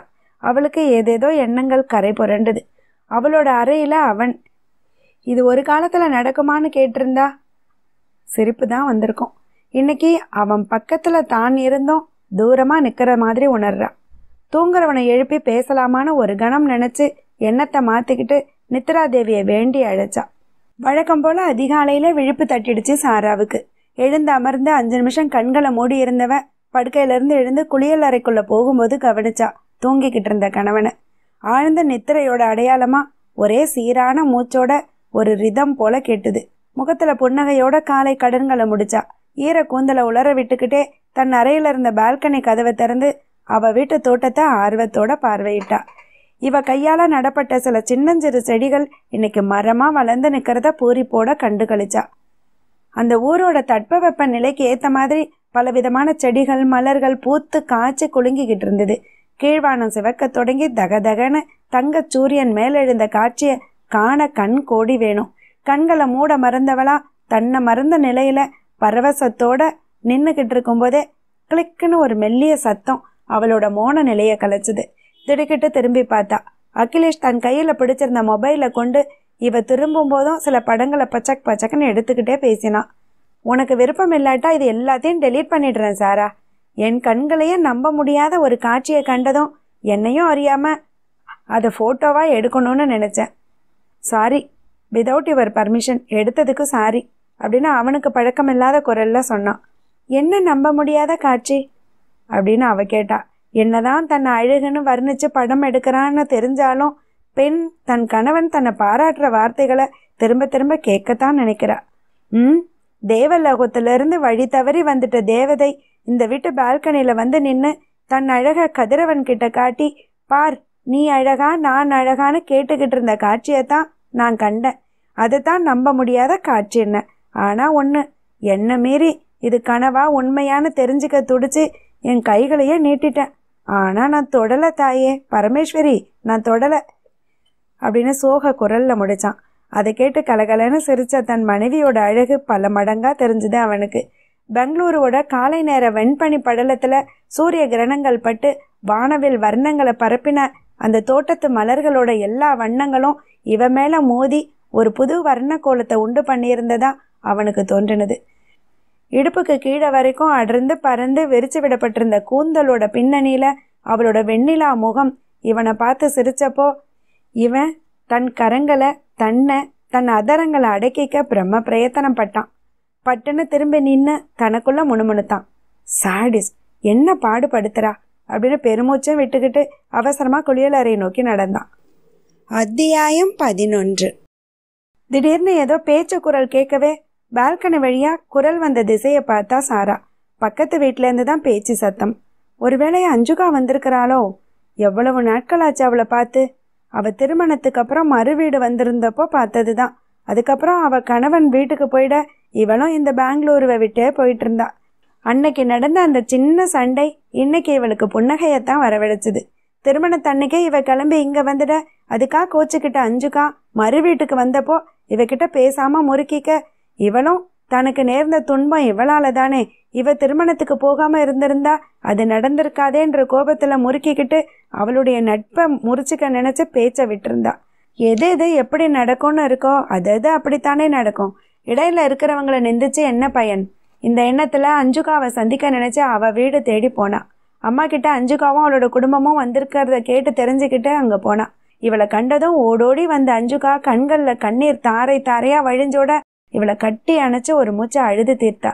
தன் கண்கள்லையும் கண்ணீர் ஓடுறதை கண்டு தொடச்சிக்கிட்டே தோழி கண்ணீரை தொடச்சிட்டு சி ஏண்டி அழற? விடு அதான் வந்துட்டோம்ல அப்படின்னு சிரிக்க முயன்றா. சாராவை இழுத்துக்கிட்டு அவங்க ரெண்டு பேரும் வழக்கமாக உட்காந்து பேசிக்கிட்டு இருக்கிற மரத்துண்டுகளையே அங்கங்கே வெட்டி உட்கார மாதிரி வசதி செய்யப்பட்டிருந்த இடத்துக்கு அழைச்சிட்டு போனான் அம்மாவை தேடி ஓடி வந்த பிள்ளைகள் கிட்ட அறிமுகப்படுத்தினா அஞ்சுகா. மூத்தவ சாருமதி நாலு வயசு. இளையவன் சுகேஷ் ரெண்டு வயசு. சுட்டி குழந்தைகளை தூக்கி கொஞ்சின சாரா தன்னோட மகன் அஜய் வந்து அவங்களோட விளையாடுவான்னு சொல்லி அவங்கள குதூகலப்படுத்தினான் அவங்க அப்பா கிட்ட போய் அவரை இங்கே வர சொல்லி அனுப்பினா அஞ்சுகா. அதுக்கப்புறம் தன் தோழியோட கதையை கேட்டு தெரிஞ்சுக்கிட்டவ சிந்தனையில் ஆழ்ந்தா. கொஞ்ச நேரம் கழித்து பேச தொடங்கும் போது அவளோட குரலில் தெளிவு இருந்தது. சாரா நீ நினைக்கிற மாதிரி அகிலேஷ் தன்னிலே மறந்திருக்க மாட்டாருன்னு தான் எனக்கு தோணுது. ஏன்னா திருமணத்தன்னைக்கு நீ புறப்பட்டு வந்துட்ட இல்லையா? அன்னைக்கு? அப்படின்னு தன் தலையில யோசனையோட ரெண்டு தரம் தட்டி யோசிச்சவ தொடர்ந்தா. அன்னைக்கே அதாவது திருமணத்துக்கு மறுநாள் ஷாமுக்கு ஃபோன் பண்ணினார். அவரும் ஃபோனை என்கிட்ட கொடுத்து பேச சொன்னார். அப்போ தான் கேட்டார். உன்னோட அட்ரஸை கேட்டார். நான் தான் உன் மேலே அப்போ இருந்த கோபத்தில் இல்லை அப்புறம் சொல்கிறேன்னு சொல்லிட்டேன். அதுக்கப்புறமா என்கிட்ட ரெண்டு முறை தொடர்பு கொண்டு கேட்டார் தான். உன்கிட்ட கேட்டுட்டு சொல்கிறதா விட்டுட்டேன். இங்கே நீயும் வெளிநாட்டுக்கு போயிட்டதா உன் பெற்றோர் சொன்னதும் அதுக்கப்புறம் உன்னை பற்றின எந்த தகவலும் இல்லைன்னு அவர்கிட்ட சொல்லிட்டேன். ஏதோ தோன்றிதானே அவர் உன்னை தேடி இருக்கணும். அன்னைக்கு இவ்வளவு நடந்திருக்கு. ஆனால் என்கிட்ட கூட மறைச்சிட்டியே. எனக்கு சொல்லியிருந்தா நானும் ஷாம் கிட்ட சொல்லி இந்த அஞ்சு வருஷ வாழ்க்கையை வீணாக்காம முன்கூட்டியே ஆரம்பிச்சிருக்கலாமே அப்படின்னு ஆதங்கத்தோட சொன்னான். சரி விடுடி கடந்து போனது போனதாவே இருக்கட்டும். ஷாம் எப்படி இருக்கார்? உன்னை எப்படி வச்சுக்கிறார்? இல்லை இல்லை நீ அவரை எப்படி கவனிச்சுக்கிற? அப்படின்னு சாரா கிண்டல் பேச்சில் இறங்கினா. ஆமாம்டி நான் தான் அவரை கவனிச்சுக்கணும். சரியாக தான் சொன்னேன். எனக்கு ரெண்டு பிள்ளைகள் இல்லை மூணு. இப்போ வரும் நீயே பார். அப்படின்னு கண் சுமிட்டினதை புரியாமல் சாரா பார்த்துக்கிட்டு இருக்கும்போதே ஹாய் கேர்ள்ஸ் நீங்கள் இங்கே இருக்கிறீங்களா? நான் எங்கே எங்கேன்னு தேடி களைச்சு போனேன். அந்த களைப்பு தீர கொஞ்ச நேரம் உன் மடியில் படுத்து தூங்கலாமா? அப்படின்னு கேட்டுக்கிட்டே அஞ்சுகாவை நெருங்கி அமர்ந்தவனை இடிச்சு தூர தள்ளினா அஞ்சுகா. கிட்ட வராதீங்க அவ்வளவுதான் அப்படின்னு ஒரு விரலை நெட்டி மிரட்டினா. சிரிச்சுக்கிட்டே சாரா கிட்ட திரும்பினவன் ஹலோ சாரா எப்படி இருக்கீங்க? அகிலேஷ் எப்படி இருக்கான்? அப்படின்னு சரளமா பேசினான். ம் நல்லா இருக்க அவரும் நல்லா இருக்கார் வந்திருக்கார் அப்படின்னு கொஞ்சம் உறுத்தலோட சொன்னான். இவன் அகிலேஷோட இருப்பது இவனுக்கு எப்படி தெரியும்? தெரியுமே அவன் சொல்லித்தானே நாங்களும் இங்க வந்தோம் அப்படின்னு அவன் வார்த்தையை விட்டான். லேசா கை முட்டியால அவனை இடிச்ச அஞ்சுகா. அவனை உறுத்து பார்த்து விழிச்சா. என்ன சொல்றீங்க? சாரா கேட்டா. ஆமா என்ன சொல்றீங்க? அஞ்சுகா கேட்டா. ஆ போ அஞ்சு. என்னால் பொய்யை தொடர முடியல. நான் சாரா கிட்ட உண்மையை சொல்லிடுறேன். ஆமாம் சாரா. அகில் ஃபோன் பண்ணி எங்கள் ரெண்டு பேரையும் கேரளாவிலேருந்து புறப்பட்டு இன்னைக்கு இங்கே வர சொல்லியிருந்தான். நாங்களும் ரொம்ப நாளாக ட்ரிப் எதுவும் போகாமல் இருந்ததுனால பிள்ளைகளை அழைச்சிக்கிட்டு உடனே வந்துட்டோம்.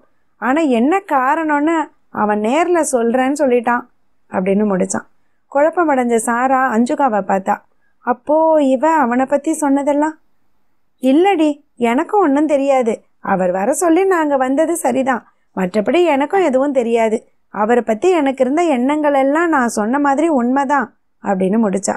இது என்ன குழப்பமான கதையா இருக்கு? முதல்ல இந்த பெங்களூர் ட்ரிப்பே பெற்றோரோடது இல்லையோ? எல்லாம் அவனோட ஏற்பாடோ? ஏன்? என்ன காரணத்துக்காக இதையெல்லாம் செய்கிறான் அவளோட குழப்பத்தோட நாயகனே அப்போ அங்கே வந்து சேர்ந்தான். என்னப்பா எல்லாரும் தோட்டவாசிகள் ஆயிட்டீங்க இங்கேயே உட்காந்துட்டீங்க சரளமாக பேசிக்கிட்டே வந்தவன் சாரா கிட்ட இடம் இருந்ததுனால அமர நினச்சி நின்று கொஞ்சம் தயங்கிட்டு தள்ளி போய் ஷியாம ஒட்டி எதிரில் அமர்ந்தான். கொஞ்சம் ஏமாற்றம் அடைஞ்சா சாரா. புரியாமல் அவனை பார்த்தாங்க அஞ்சுகாவும் ஷியாமும். இருந்தாலும் அவங்க ரெண்டு பேருக்கும் ஒரு இடையில இருக்கிற சூழ்நிலை தெரியாததுனால வாய் மூடி மௌனமாக இருந்தாங்க. அகிலேஷே பேச்சை தொடர்ந்தான். எங்கடா உன் குட்டீஸ்? அஜயை இன்ட்ரோ கொடுக்கலாம்னு நினச்சி அடித்தேன் அவனை குளிக்க வச்சு அனுப்புறதா சாரா அம்மா சொன்னாங்க. அப்படின்னா சாரா அம்மாவா? நேத்தெல்லாம் ஆண்டி ஆன்ட்டின்னு அழைச்சானே அவங்க ரெண்டு பேரும் உள்ளே தான் விளையாடிக்கிட்டு இருக்காங்கப்பா. உனக்கு ஒன்று தெரியுமா அகில்?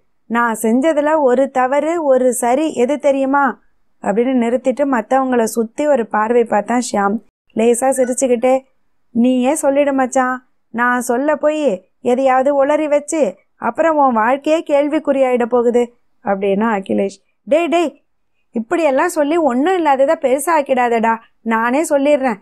தவறு அப்படின்னபடி மனைவியை பார்த்தவ அவளோட முறைப்பை கண்டு தடுமாறி நிறுத்தி திரும்பி அமர்ந்துக்கிட்டு சரி அந்த தவறு அப்படின்னு எச்சில கூட்டி விழுங்கிக்கிட்டு அகில் நீ உறுதி கொடு. யாரையும் நான் அடிக்கக்கூடாதுன்னு அப்படின்னு கையை நீட்டினான். யாரும்னா யாரடா சொன்ன? உன்னை போய் யாரடா அடிக்க போகிறாங்க உன் மனைவியை தவிர. அப்படின்னு அகலமாக சிரித்தான் அகிலேஷ். அதை தாண்டா சொல்கிறேன் அப்படின்னா ஷியாம். சரி விஷயத்த சொல்லு நான் பார்த்துக்கிறேன் அப்படின்னா அகிலேஷ். தவறு ஈ. இல்லை திருமணம் செஞ்சுக்கிட்டது தவறு. சரி. அடுத்தடுத்து ரெண்டு பிள்ளைகளை பெத்து எடுத்தது அதாவது ரெண்டு பிள்ளைகள். காரணம் நம்மளை தொந்தரவு பண்ணாமல் அதுகளே அடிச்சுக்கிட்டு திருத்திக்கிட்டு விளையாடிக்கிட்டு இருக்கோம். அதனால அனுபவஸ்தனாக சொல்கிறேன் உன்னோட நிற்காம ரெண்டாவதையும் பெற்றுக்கணும் சரிதானே அஞ்சு?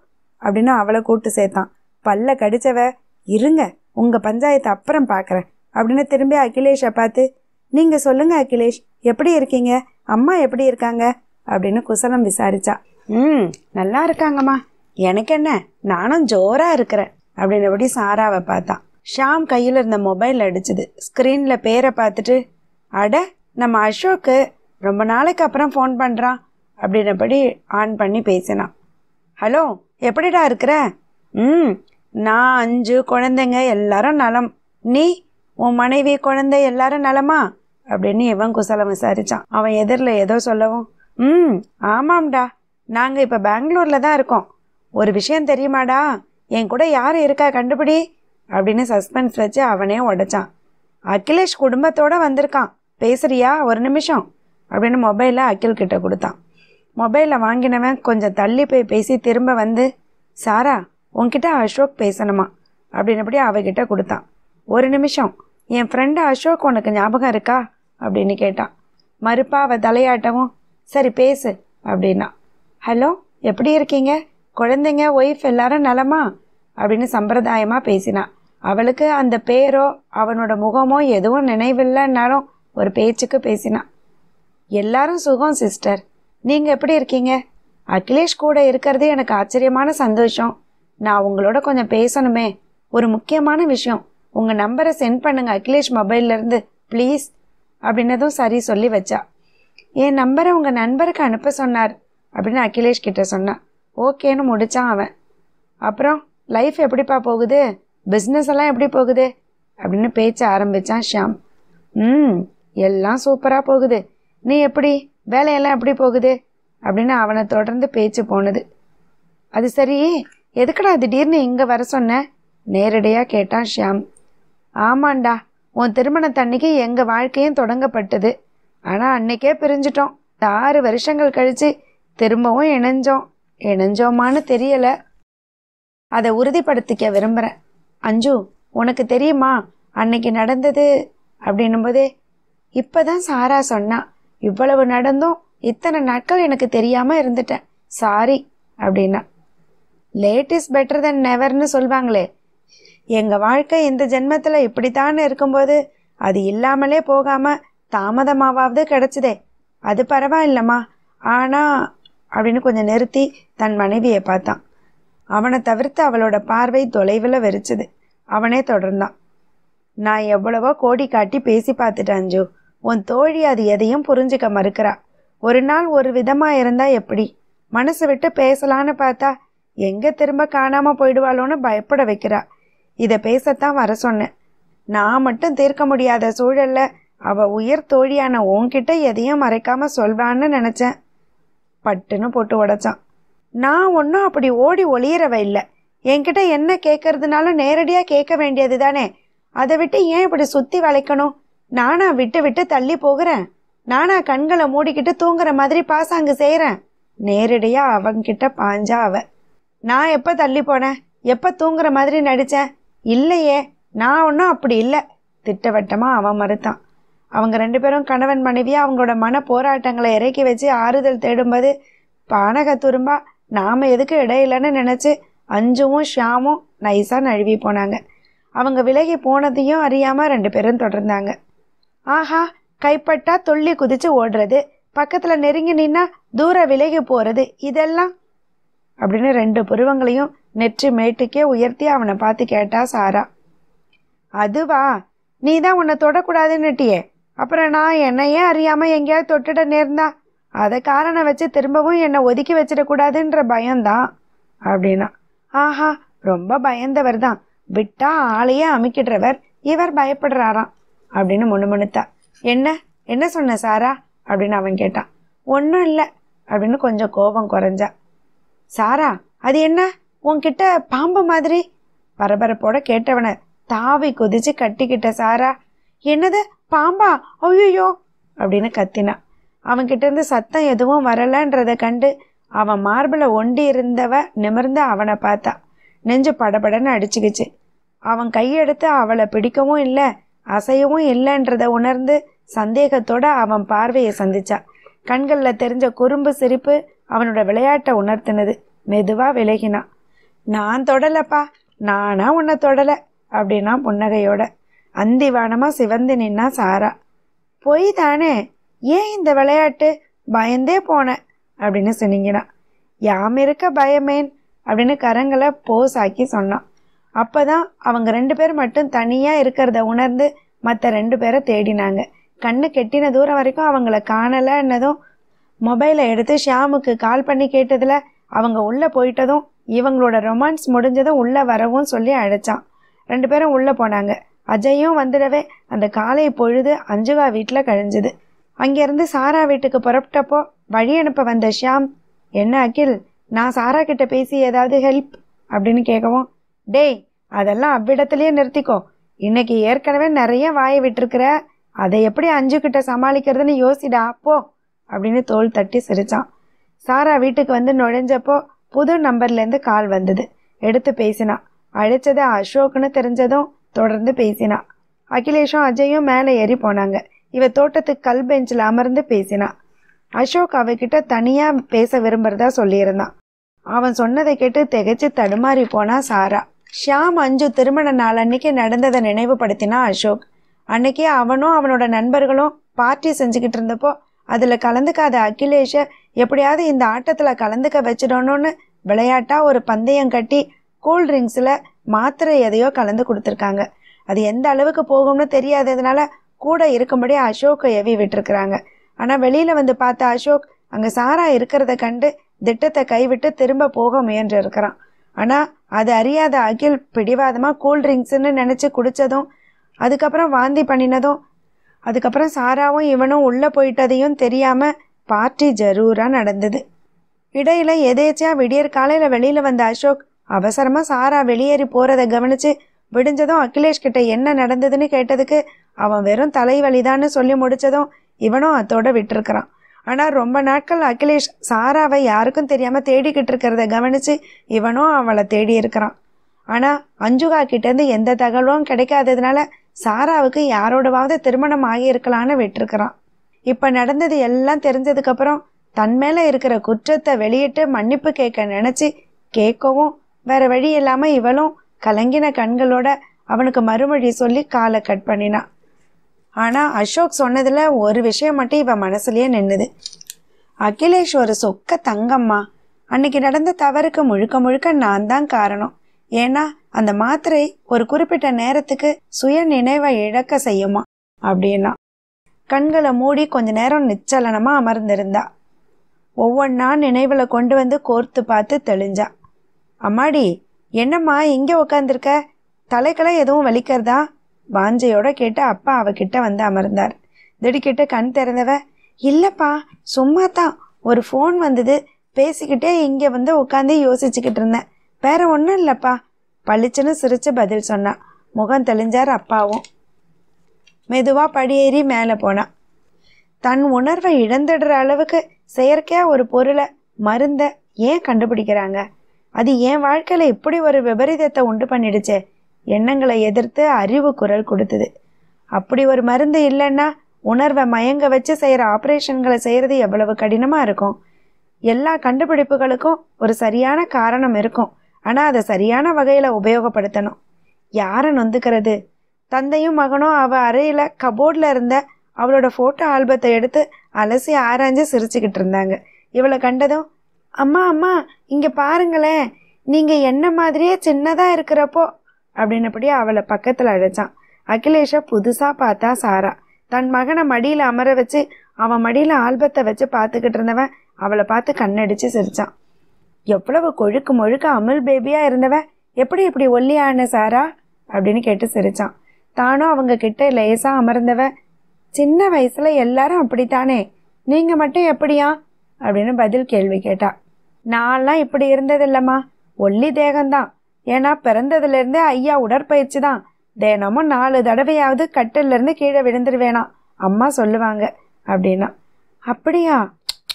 ஐயோ அடிபட்டதுனால தான் தலையில் இன்னும் சரியாகலை போல அப்படின்னுட்டு கலகலன்னு சிரிச்சா. ஓஹோ உங்களுக்கு மேட்சாவோ அப்படின்னு அவனும் சிரிச்சான். அஜயும் அவங்களோட இணைஞ்சு சிரிச்சான். அத்தியாயம் பனிரெண்டு. அன்னைக்கு ஞாயிற்றுக்கிழமை. மறுநாள் அஜய் ஸ்கூலுக்கு போக வேண்டியிருந்ததுனால அன்னைக்கே ரிட்டர்ன் டிக்கெட்டும் எடுத்திருந்ததுனால அகிலேஷ் குடும்பம் சென்னைக்கு புறப்பட்டது. ஷியாம் குழந்தைகளோட அஜய் ஒட்டிக்கிட்டு விட்டு பெரிய மனசு இல்லாம முகம் தொங்கி போனான். ஷியாம் அஞ்சுகாவை கண்டிப்பா சென்னைக்கு வர சொல்லி அழைப்பு விடுத்தாங்க அகிலேஷ் தம்பதி. அவங்களும் வர்றதா ஒத்துக்கிட்டாங்க. சாராவை தனிமையில சந்திச்சு சிலதை எடுத்து சொல்லியிருந்தா அஞ்சு. அகிலேஷ் எந்த விதத்திலையும் குறை இல்லாதவனா இந்த காலத்துல பாழா போன குடின்ற பழக்கம் இல்லாதவங்களே இப்ப கிடையாதான் ஷியாமும் கூட சில நேரங்களில் அதில் சிக்கிறது உண்டாம். ஆனால் அகிலேஷை என்ன சொல்லியும் குடிக்க வைக்க முடியாதுன்னு அவ கணவனே சொல்லியிருந்தானா. அதோட சுய கட்டுப்பாடு இருக்கிற மனிதரான் கண்ணை மூடிக்கிட்டு அவளோட வாழ்க்கையை அவன்கிட்ட ஒப்படைக்கலாமா? எல்லாத்துக்கும் தலையை மட்டும் ஆட்டிக்கிட்டு இருந்தவ இன்முகத்தோடயே விடை வாங்கிக்கிட்டா. பெங்களூர் தாத்தா பாட்டியை விட்டு பெரிய மனசு இல்லாம போன பேரன்கிட்ட அடுத்த மாசத்துக்குள்ள நிரந்தரமா சென்னை வாசிகளா ஆகிடுறதா சொல்லி மருமகனுக்கும் செய்தியா தெரியப்படுத்தினாங்க. விமானத்துல ஏறி உட்கார்ந்ததும் மனசு குழப்பத்துல ஆழ்ந்தது சாராவுக்கு. ஆளாளுக்கு நல்லவன் நல்லவன்னு சொல்றாங்களே அது அவங்களா சொல்றதா? இல்ல சொல்ல வைக்கப்படுறாங்களா? அந்த குணங்களை பத்தி அவ ஒன்னும் குறை சொல்லலையே. அந்த நினைவில்லாத நிலையில தன்னை ஆட்கொண்டவ வேற யாரா இருந்தாலும் அந்த நேரத்துல தன்னை மறந்து ஆட்கொண்டிருப்பான் தானே. லோபி ஒருத்தன் எல்லா பொருட்களும் தனக்கே சொந்தமாகணும்னு வேண்டிப்பானாமே. அது மாதிரி தன் கணவனுக்கு தான் மட்டும் உரிமையா ஆகணும்னு நினைச்சா. கண்களை மூடி உட்கார்ந்திருந்தவளை தோள் தட்டி பெல்ட்டை மாட்டிக்க சொன்னான். அம்மாவுக்கும் தனக்கு மாட்டி விட்ட மாதிரி அகிலேஷ் மாட்டி விடணும்னு சொன்ன சிறுவனோட ஆசையை நிறைவேற்ற அவன் முகத்தை பார்த்தான். அவளோட சம்மதத்தோட நிறைவேற்றினவன் கிசுகிசுப்பான குரல்ல நான் நானா தொடல பையன் ஆசையில உன் அனுமதியோட தான் தொட்டேன் அப்படின்னு சொல்லிட்டு சிரிச்சான். கல்லன்னு மனசுக்குள்ள திட்டிக்கிட்டா அவளும். கொஞ்ச நேரத்துல ஏறக்குறைய எல்லாருமே தூங்க ஆரம்பிச்சிருந்தாங்க. அஜயும் நல்லா தூங்க ஆரம்பிச்சிட்டான். அவன் தலைய தன் மடியில சாய்ச்சி வச்சுக்கிட்டு கணவனை பார்த்தா. அவன் ஆழ்ந்த உறக்கத்துக்குள்ள போயிருந்தான். அசைவில்லாத அளவுக்கு தூங்கிக்கிட்டு இருந்தான். டின்னர் நேரம் நெருங்கினதுனால என்ன உணவு தேவைன்னு கேட்டு ஏரோஸ்ட்ரெஸ் வந்தாங்க. ஜன்னல் ஓரத்தில் அமர்ந்திருந்த சாரா அரை கண் மூடி தூங்க முயற்சி பண்ணிக்கிட்டு இருந்தா. உள்பக்கமா முதல்ல உட்கார்ந்திருந்த அகிலேஷ அந்த பணிப்பெண் அழைச்சாங்க. அது அவன் காதில் விழலை. லேசா தோளில் தட்டி சார் சார்னு அழைச்சா. எழலை. தோலை பிடிச்சு ஒரு கையால் தட்டி எழுப்ப முயற்சிக்கவும் சாராவும் முழு கண்ணை திறந்து பார்த்தா. அப்பதான் சடக்குன்னு கண் பிடிக்கும் போதே தன் தோல் மேல இருந்த கரத்தை கையில் எடுத்து தடவினவன் சடார்னு அந்த கையை உதறினான். நீ சாரா இல்லை. சாரா கரம் இல்லை இது.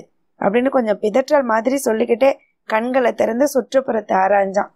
அந்த நொடியில அவனோட உள்ளத்திலையும் தான் இருக்கிறத புரிஞ்சுக்கிட்டான் சாரா. தன் உடலுக்கு மட்டும் சொந்தமானது இல்ல தன் ஆழ் மனசுக்கும் சொந்தக்காரி தன் மனைவியான சாரா மட்டும்தான்றத எந்த அளவுக்கு அவன் உறுதிப்படுத்தினான்றது புரிஞ்சுது. சாரி என்ன சாப்பிட்றீங்கன்னு அந்த ஏர் ஹோஸ்டர்ஸ் கேட்கவும் இப்போ எதுவும் வேண்டாம் அப்படின்னு அவனும் ஆங்கிலத்திலேயே மறுமொழி சொன்னான். சாரா மனசு தெளிவானது. அவனோட உள்ளம் அவளுக்கு துலாம்பாரமா விளங்குனது. பட்டுன்னு ஒரு கயிறு அவிழ்ந்து அது வரைக்கும் அவளை உறுத்திக்கிட்டு இருந்த சந்தேகம் தெரிச்சு ஓடுனது. தன் அன்போட வெளிப்பாடா தன் கரத்தை நீட்டி அவனோட கரத்தை பிடிச்சா. நம்ப முடியாம அவளை உத்து பார்த்தவன் அவ கண்கள்ல தெரிஞ்ச உண்மை காதலை கண்டு மந்தகாச புன்னகையோட அவளோட பற்றின கரங்களை எடுத்து தன் அதரத்துல அழுத்தி எடுத்தான்.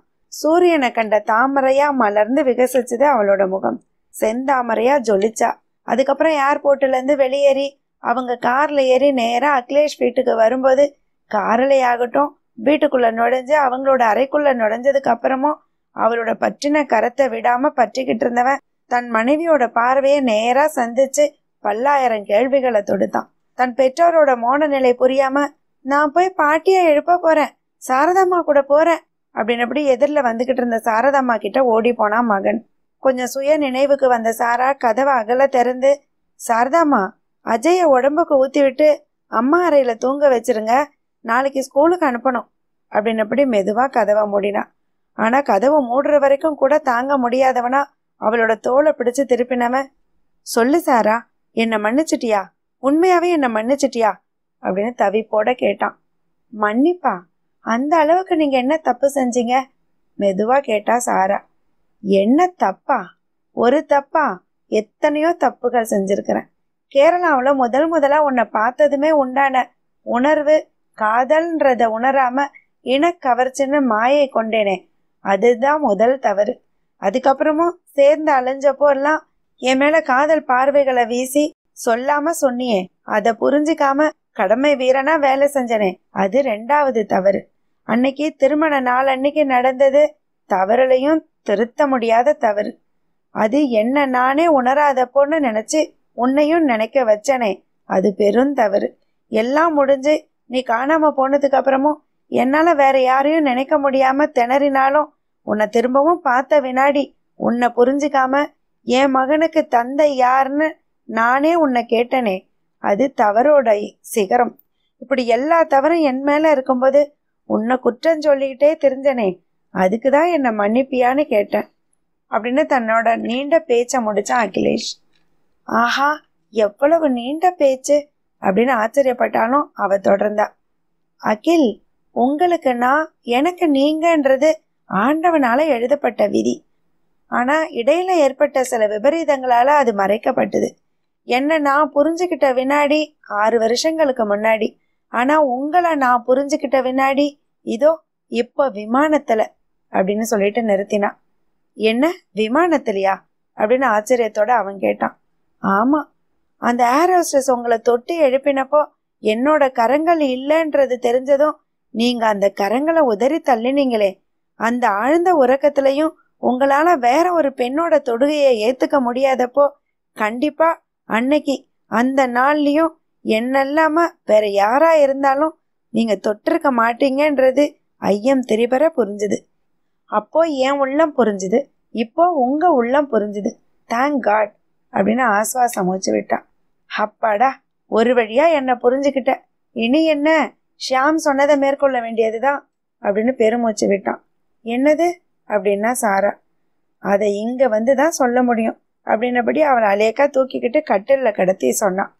தனிமரம் தோப்பாகாதுன்ற மாதிரி உன்னோட மட்டும் நின்னுடாம அஜுக்குட்டிக்கு விளையாட்டு பொம்மையா வாங்கி கொடுக்கறத நிறுத்திட்டு ஒரு உயிருள்ள தங்கச்சி பாப்பாவை வாங்கி தரணும்னு தான் அப்படின்னு கிசுகிசுதான் தன் முக சிவப்பை மறைக்க தளிர் கரத்தை கொண்டு முகத்தை மூடிக்கிட்டா சாரா. முற்றும். மாயாவின் மீண்டும் வந்த வசந்தம் நாவல் இத்துடன் நிறைவு பெறுகிறது. மீண்டும் அடுத்தொரு நாவலில் சந்திப்போம். நன்றி.